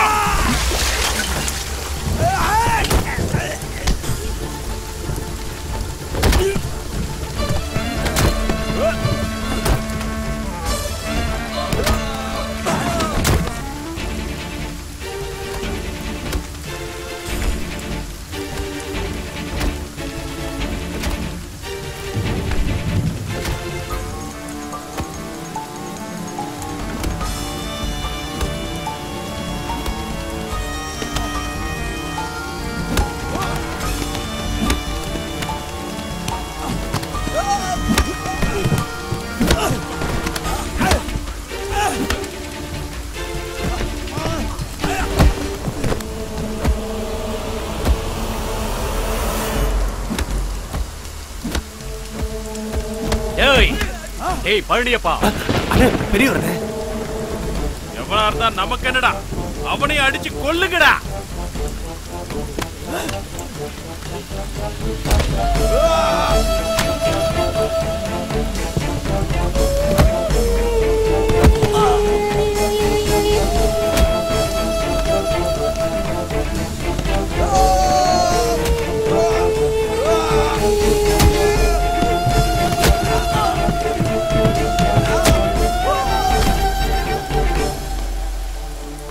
என்ன தைரியம் இருந்தா ஏழை எண்ணி போட்டு கொடுப்ப. இனிமே நீ இருக்கவே கூடாது. பெரியவரே தெரியாம பண்ணிட்டேன். இவன் மேல இருந்த கோவத்தால தான் ஓட்டு கொடுக்கிறவனையும் கூட்டி கொடுக்கிறவனையும் நான் விடவே மாட்டேன்டா.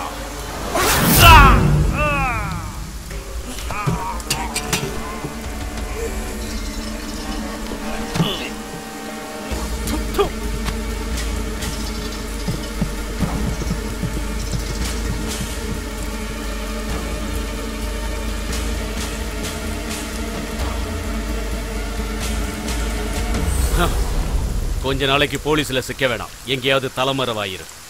ஹம். இதை எடுத்துட்டு போய் கொஞ்ச நாள் எங்காவது இரு. நான் சொல்ற வரைக்கும் நீ திரும்ப இந்த ஊருக்கு வர வேணாம்.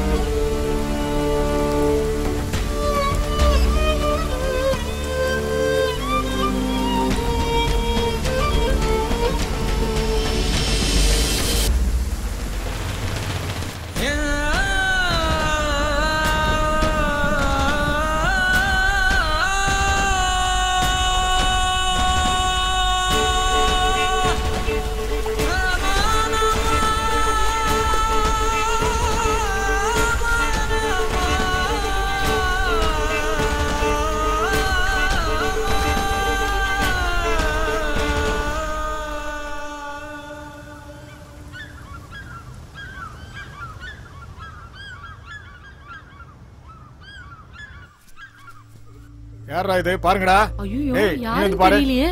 நல்லா பாரு? யாருன்னு பாரு. ஐயோ. அண்ணே தள்ளுங்கண்ணே நான் பாக்குறேன். தள்ளுங்க. ஏய் கொஞ்சம் புடிடா. சார் காலு சார்.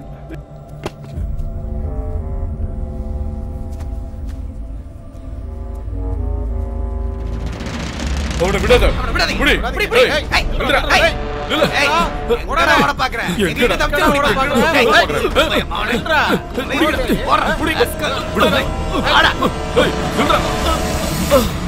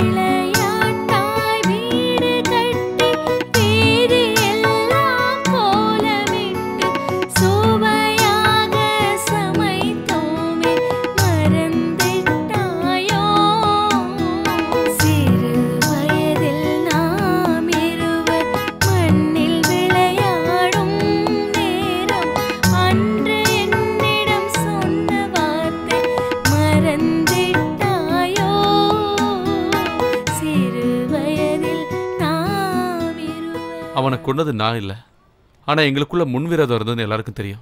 குஸ்தியில் நடந்த பிரச்சனையால அவங்களுக்கு என் மேல சந்தேகம் அதிகமாயிடுச்சு. என்னை காப்பாத்துறதுக்கு பெரியவர் நிறைய முயற்சி பண்ணாரு. ஆனா அவரால் முடியல. ஆயுள் தண்டனை கொடுத்து உள்ள தள்ளிட்டாங்க. யாமி ஒரு தடவை ஜெயிலுக்கு வந்திருந்தேன் சொந்தக்காரங்க யாருமே கிடையாது. எவ்வளவு நாள் தான் அவளாலே அந்த ஊர்ல இருக்க முடியும். நானும் உங்களை பார்க்கறதுக்கு ஜெயிலுக்கு வந்திருந்தேன். ஞாபகம் இருக்கா?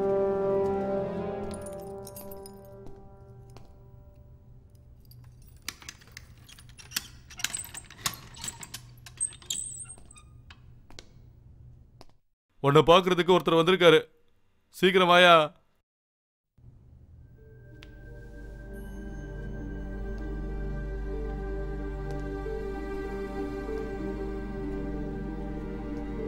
சீக்கிரம் வா.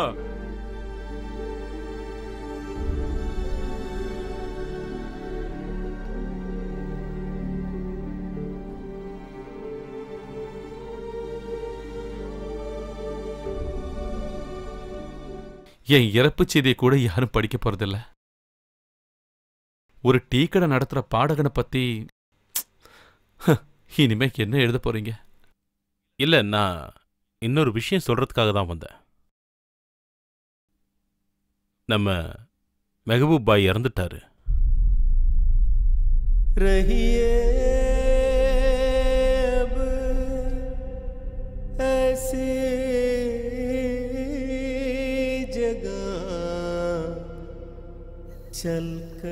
ஆயிரத்தி தொள்ளாயிரத்தி முப்பதுல பிரிட்டிஷ் ஆர்மியில அவில்தாருங்களோட பேரட்ல சின்ன உதவிகள் செஞ்சிட்டு இருந்தவர் தான் இந்த மெஹபூப் பாய்.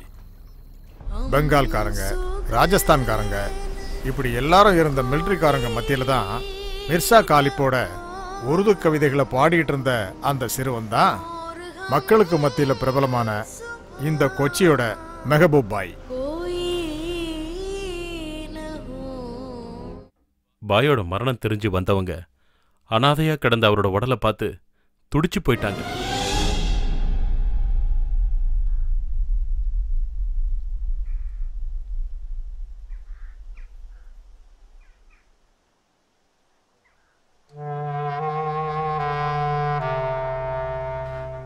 இங்க பாருங்கம்மா.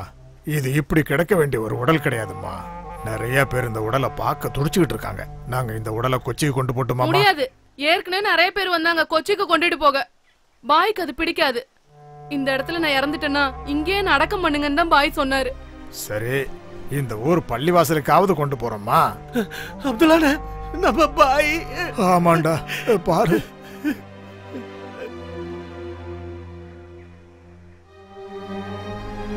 வாங்கடா நாம பள்ளிவாசலுக்காவது கொண்டு போலாம். சரிங்கண்ணா. வாங்க புடிங்கடா. மெதுவா மெதுவா புடிங்கடா.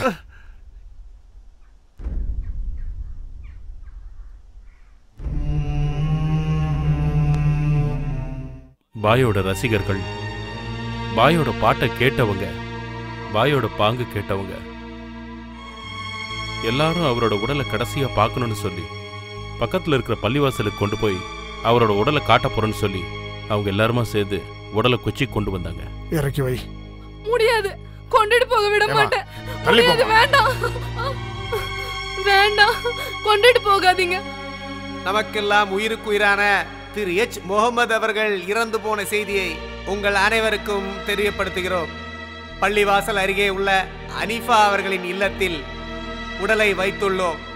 நாளை காலை தொழுகை முடிந்தவுடன் அவரது திரு உடலை கொச்சியில் ஆயிரக்கணக்கான மக்களுக்கு எப்போவும் மறக்க முடியாத பாடல்களை கொடுத்த அந்த பெரிய கலைஞனை முழு மரியாதையோட அடக்கம் பண்ணாங்க. தம்பி நேரம் முடிஞ்சிருச்சுப்பா.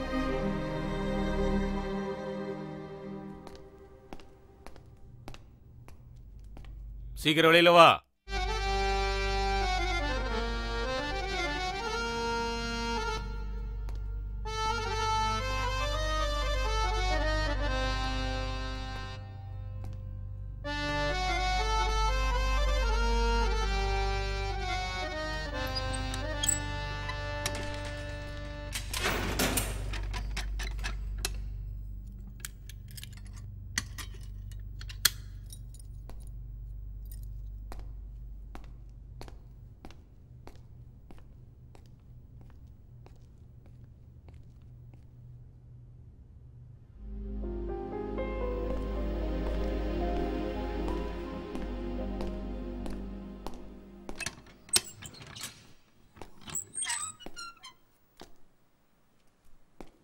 பேப்பர்ஸ் எல்லாமே ரெடியாகி வந்திருக்கு.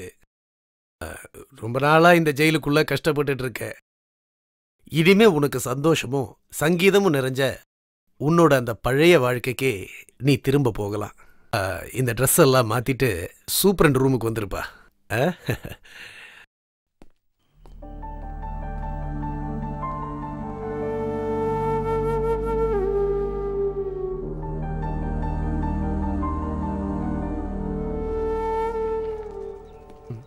ஆ உள்ள வாப்பா. சார். சார். ம்.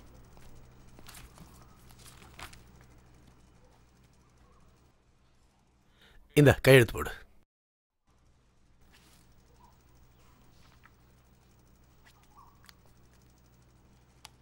சார். ஜெயில்ல இருந்து கிளம்பும்போது யாரும் சொல்லிட்டு போக மாட்டாங்க. ம் போ.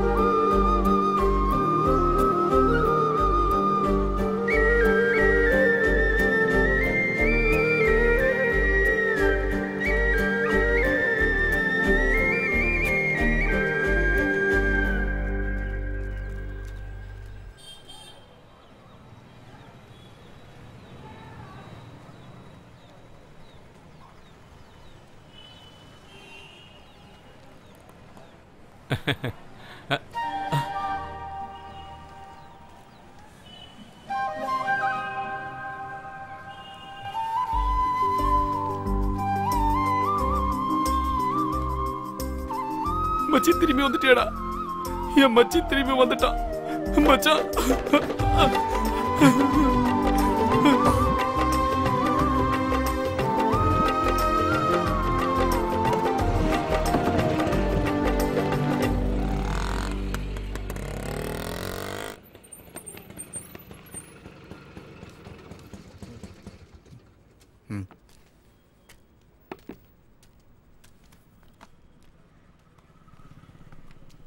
ரெண்டு டீ போடுமா?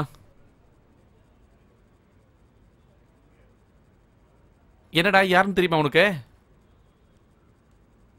எனக்கு யாருன்னு தெரிஞ்சு போச்சு. உங்களை அநியாயமா இத்தனை வருஷம் ஜெயில போட்டாங்களே. வர வழியில பிரான்சிஸ் சொன்ன போதுதான் எனக்கே விஷயம் தெரியும்.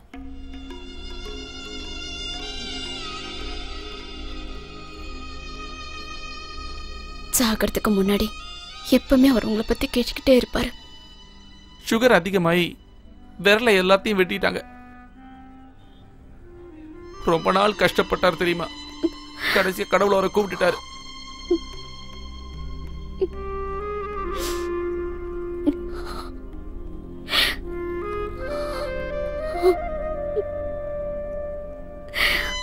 அவரால பாவம் எதுவுமே சாப்பிட முடியல. அவர் சாகுற வரைக்கும் ஒரு குழந்தைய பாத்துக்கிற மாதிரி நல்லபடி அவர் என்ன பாத்துக்கிட்டு விடுங்க. இனிமே அதை பத்தி பேச வேண்டாம். நான் ஒருத்தி உங்களை பார்த்ததும் என்னென்னமோ நான் சொல்ல நான் போய் டீ எடுத்துட்டு வரேன். இல்ல இப்ப வேண்டாம். நான் அப்புறமா வந்து குடிக்கிறேன். ம்.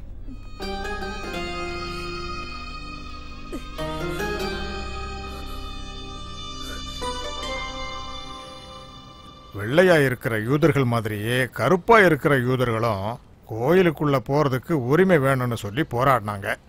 இந்தியாவோட சுதந்திரத்துக்கு போராடின யூதர்களோட காந்தின்னு சொல்லி எல்லாரும் அழைச்ச சேலம் கோச்சியோட கொச்சி தான் இது. யூதர்களோட கதையை நாங்க கேட்டிருந்தாலும் யூதர்களை நாங்க பார்த்ததே இல்லையே. முன்ன இந்த ஊர்ல ஒருத்தர் யூதர் பொண்ண கல்யாணம் பண்ணாங்கன்னு சொன்னீங்கல்ல அவர் இப்ப எங்க இருக்காரு? செய்யாத தப்புக்காக ஜெயிலில் இருக்காரு. அவர் வர்றதை எதிர்பார்த்து தான் இந்த கிழவன் இன்னும் உயிரோடவே இருக்கான். இன்னும் எவ்வளவோ கதைகள் உங்ககிட்ட நான் சொல்ல வேண்டியது இருக்கு. இங்க அடிக்கிற இந்த சிறு அலைகள் இருக்கு பாருங்க. இந்த ஒவ்வொரு அலைக்கும் ஒவ்வொரு கதை சொல்ல வேண்டியது இருக்கு. சரிங்க ஐயா நாங்க அடுத்த தடவை வரும்போது வரோம். சரி போயிட்டு வாங்க. அடுத்த முறை வரும்போது நிறைய கதை சொல்றேன். என்ன? சரிங்க தாத்தா. வாங்க வாங்க. சீக்கிரம் நடங்க.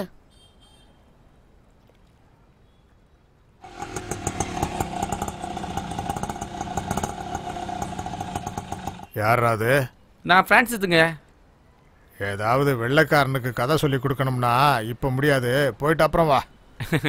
இவ்வளவு நாளா நீங்க யாருக்காக காத்திருந்தீங்களோ அவரை கூட்டு வந்திருக்கேன்.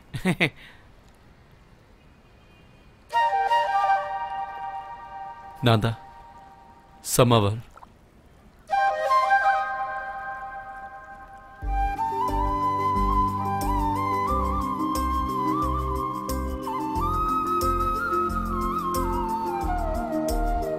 தம்பி.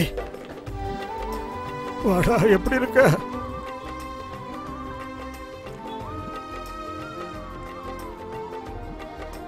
எனக்கு நல்லா தெரியும்டா. ஒரு நாளைக்கு நீ கண்டிப்பா என்ன பார்க்க வருவேன்னு நான் நம்புறேன்டா. டே பிரான்சிஸ் நான் எப்பவும் சொல்லுவேன்ல அவன் கண்டிப்பா ஒரு நாள் வருவான்னு. இந்த ஊரையும் இந்த கிழவனையும் விட்டு இவனால எங்கேயும் போக முடியாதுன்னு எனக்கு நல்லா தெரியும்டா. எப்படி இருக்க? அண்ணா நீங்க நல்லா இருக்கீங்களா? வயசு தான் ஏறிட்டே போகுதில்ல. போறதுக்கான நேரம் ஆயிடுச்சு.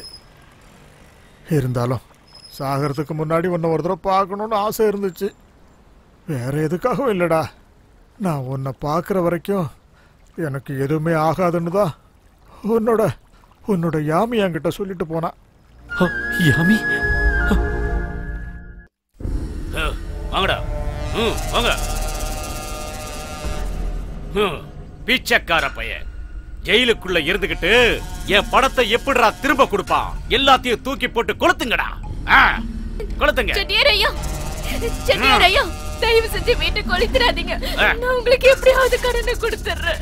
ஓடி. நான் சொல்றது கேளுங்க ஐயா உன்னால என் பணத்தை இப்ப கொடுக்க முடியுமா? சாமானெல்லாம் எடுத்து போட வேணாம் செட்டியாரே, சொல்லுங்க. உங்களுக்கு பணம் தரணும். ஆனா அவளுக்கு யாருமே இல்லைன்னு மட்டும் நினைச்சிடாதீங்க. பணத்தை அவ கண்டிப்பா திருப்பி தருவா. ம், தருவ தருவ. யார் தருவா? நீ தருவியா? ஏய் இந்த செட்டியாருக்கு பண விஷயத்துல சில கொள்கைகள் இருக்கு. ஒண்ணு பணம். இல்ல கொளுத்துங்கடா. செட்டியாரே இந்த மாதிரி எல்லாம் எதுவும் பண்ணிடாதீங்க. தயவு செஞ்சு இந்த குழந்தைய தெருவுக்கு கொண்டு வந்துடாதீங்க. அவர் ஜெயில இருந்து வந்த உடனே உங்க பணத்தை திருப்பி ஓ கொடுத்துறேன் கொடுத்துற கொடுத்துற போறீங்க. ஓடி. செட்டியாரே. யாரா பாத்துக்கிட்டு இருக்கீங்க? கொளுத்துங்கடா. கொளுத்துங்க செட்டியார்கிட்ட பணத்தை வாங்கிட்டு திரும்ப தரலனா எல்லாருக்குமே இதுதான் கதி. மொத்தமா கொளுத்துங்கடா. கொளுத்தி சாம்பலாக்குங்கடா. ஆ, யாருகிட்ட உங்க வேலையெல்லாம் காட்டுறீங்க? ஆ.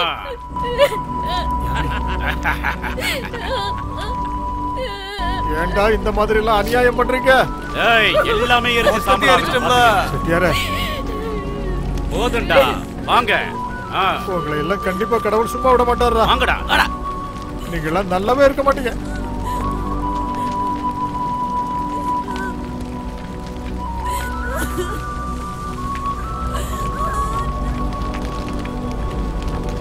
அம்மாடி.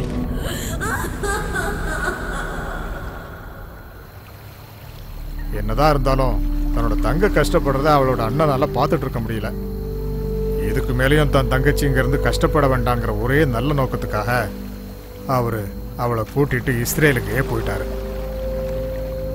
என்னைக்காவது ஒரு நாள் நீ திரும்ப வருவேனோ நீங்க ரெண்டு பேரும் சந்திப்பீங்கங்கிற நம்பிக்கையோடையும் தான் அவன் இந்த ஊரை விட்டே போனான் அவன் கண்டிப்பா வருவாமா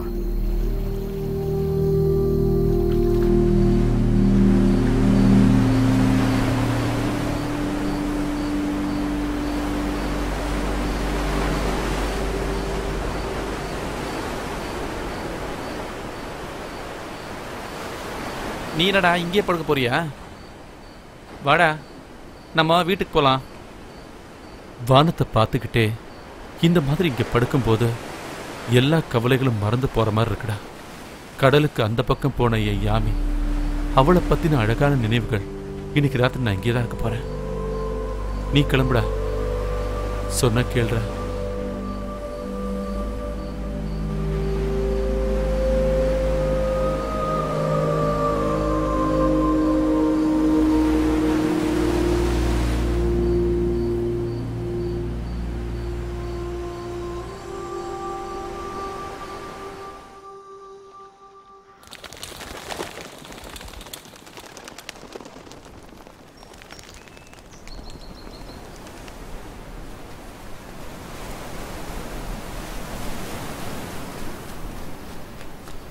என்ன? என்னாச்சு?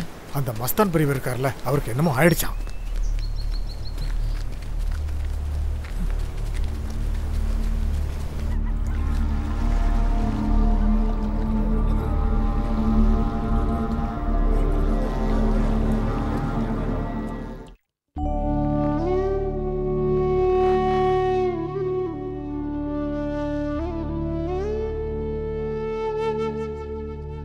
எந்த ஊர்ல இருந்து வந்தாரு? எந்த ஊர்ல பிறந்தாருன்னு தெரியாம இந்த ஊருக்கும் இங்க இருக்கிற ஜனங்களுக்கும் கதைகள் சொல்லி காலத்தின் கட்டாயத்தால கதைகள் சொல்ற மஸ்தானு இந்த உலகத்தை விட்டு போயிட்டாரு. கல்யாண வீடுகள்லையும் திருவிழாவிலையும் பாடி நடந்த என்னால அந்த ஊர்ல திரும்பவும் வாழ எனக்கு தோணல. பயணத்தை ஆரம்பிச்சேன் மிக நீண்ட பயணம். பசியோட வேதனை என்னங்கிறத நான் கண்ணால பார்த்து தெரிஞ்சுக்கிட்டேன். நான் என்னையே மறந்தேன் பயணங்கள் தொடர்ந்துகிட்டே இருந்தது. பல கலாச்சாரங்களும் பலவிதமான சங்கீதங்களும் இருக்கிற கொச்சியிலிருந்து சங்கீதத்தோட ஆழங்கள் தேடி பயணித்த ஒரு பயணம்தான் அந்த பயணம். அந்த பயணம் என்னை கூட்டிட்டு போனது ஒரு பண்டிட்ஜி கிட்ட.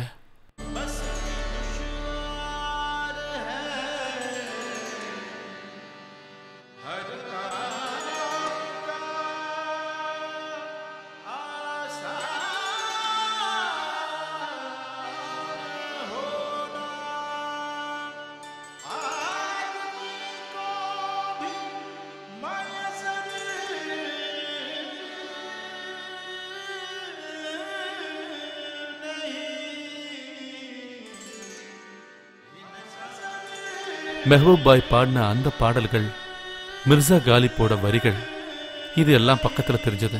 அந்த மகாமனிதர் பாடும்போது தான் மிர்சா காலிப்போட வாழ்க்கையும் ஹெச் மெஹபூபோட வாழ்க்கையும் ஒரே கோட்டில் தான் பயணம் பண்ணுச்சுன்னு எனக்கு தெரிஞ்சது.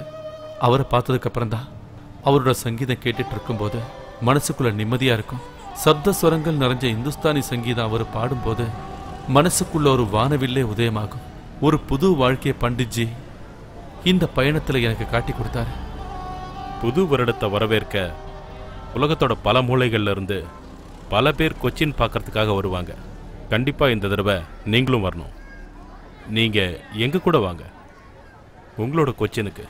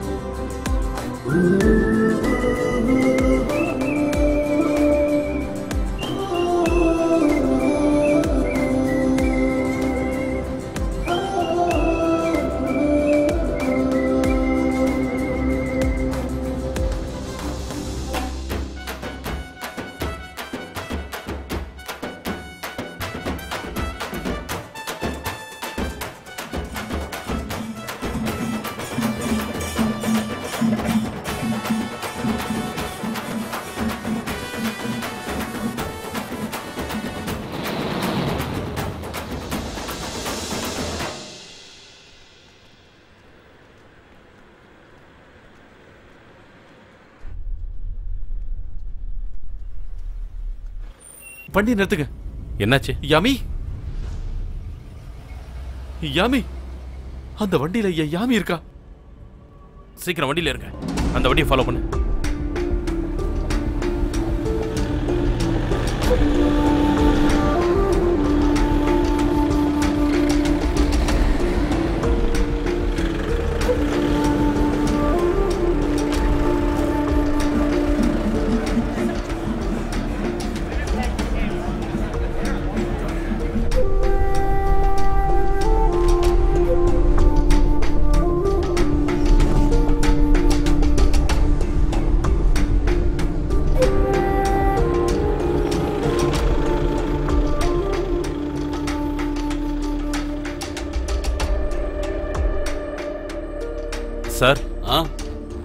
விஷயம் தெரியணும். என்ன?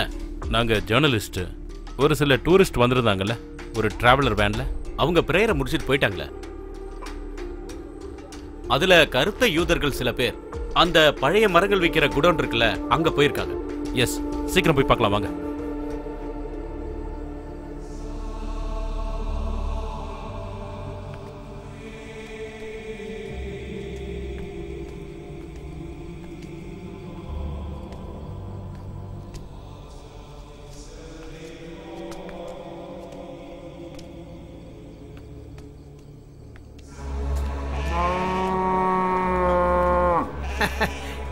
போடுப்பா காடை. இத முதல்லயே போட்டிருக்கலாமே. இதுதான்ப்பா எனக்கு வேணும். இதை போட்டிருந்தா அப்பவே முடிச்சிருப்பேன். அட எங்க போயிட்டு தங்கச்சி? பிரார்த்தனை செய்ய. அட என்னம்மா நீ விஷயம் தெரியாம வச்சிட்டு இருக்க? ஒரு காலத்துல இது யூதர்களோட கோயிலா இருந்தது உண்மைதான். இது இப்போ மாடுகளை வெட்டுற இடமா? நாங்க எல்லாம் பிரார்த்தனை பண்ண இடம். அதெல்லாம் அந்த காலம். இது இப்போ கோடவுனு. முதல்ல இந்த இடத்த ஒரு கலெக்டர் பாதுகாத்தாரு. அப்புறம் அந்த கலெக்டர் ஒரு சேட்டு கிட்ட இதை கொடுத்துட்டாரு.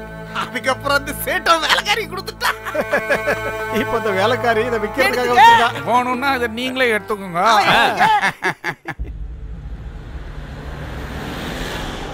நாங்க இங்க பிரார்த்தனை பண்ணிக்கலாமா? ஆ பண்ணுங்க பண்ணுங்க. எருமை இருக்கு மாடு இருக்கு ஆடுங்க இருக்கு அப்புறம் நாங்களும் இருக்கோம். எங்களை எல்லாம் பார்த்து நல்லா பிரார்த்தனை பண்ணுங்க. நீ காடு வர்ற.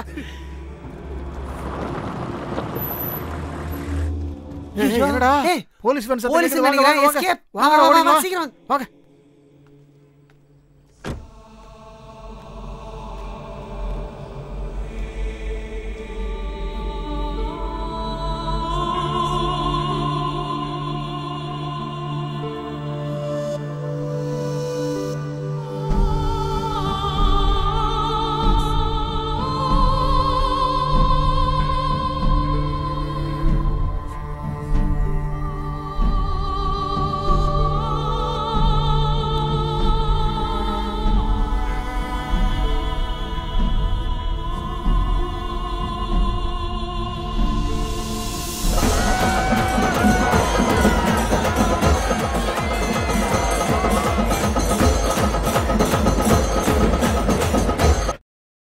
யாமி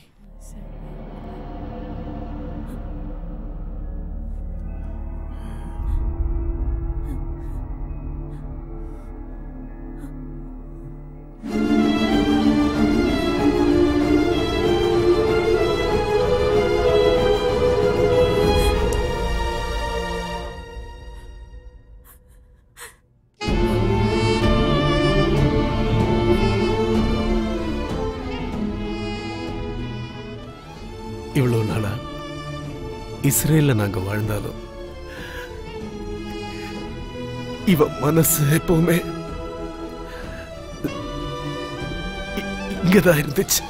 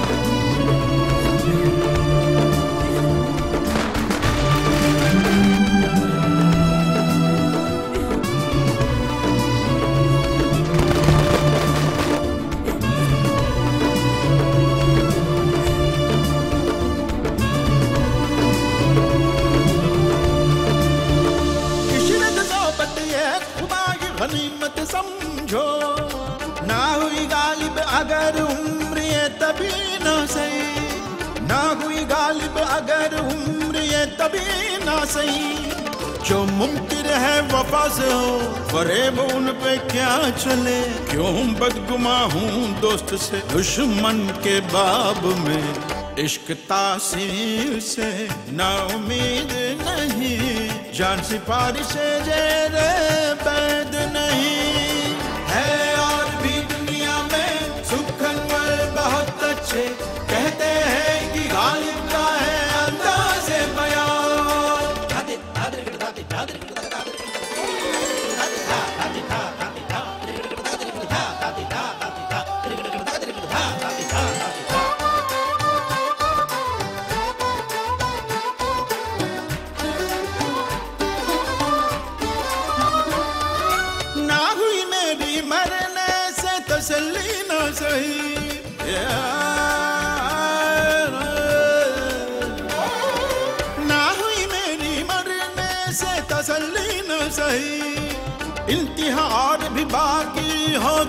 भी न सही।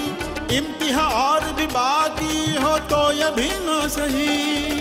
जो मुमकिन है वफा से हो, फरेब उन पे क्या चले? क्यों बदगुमा हूँ दोस्त से दुश्मन के बाब में?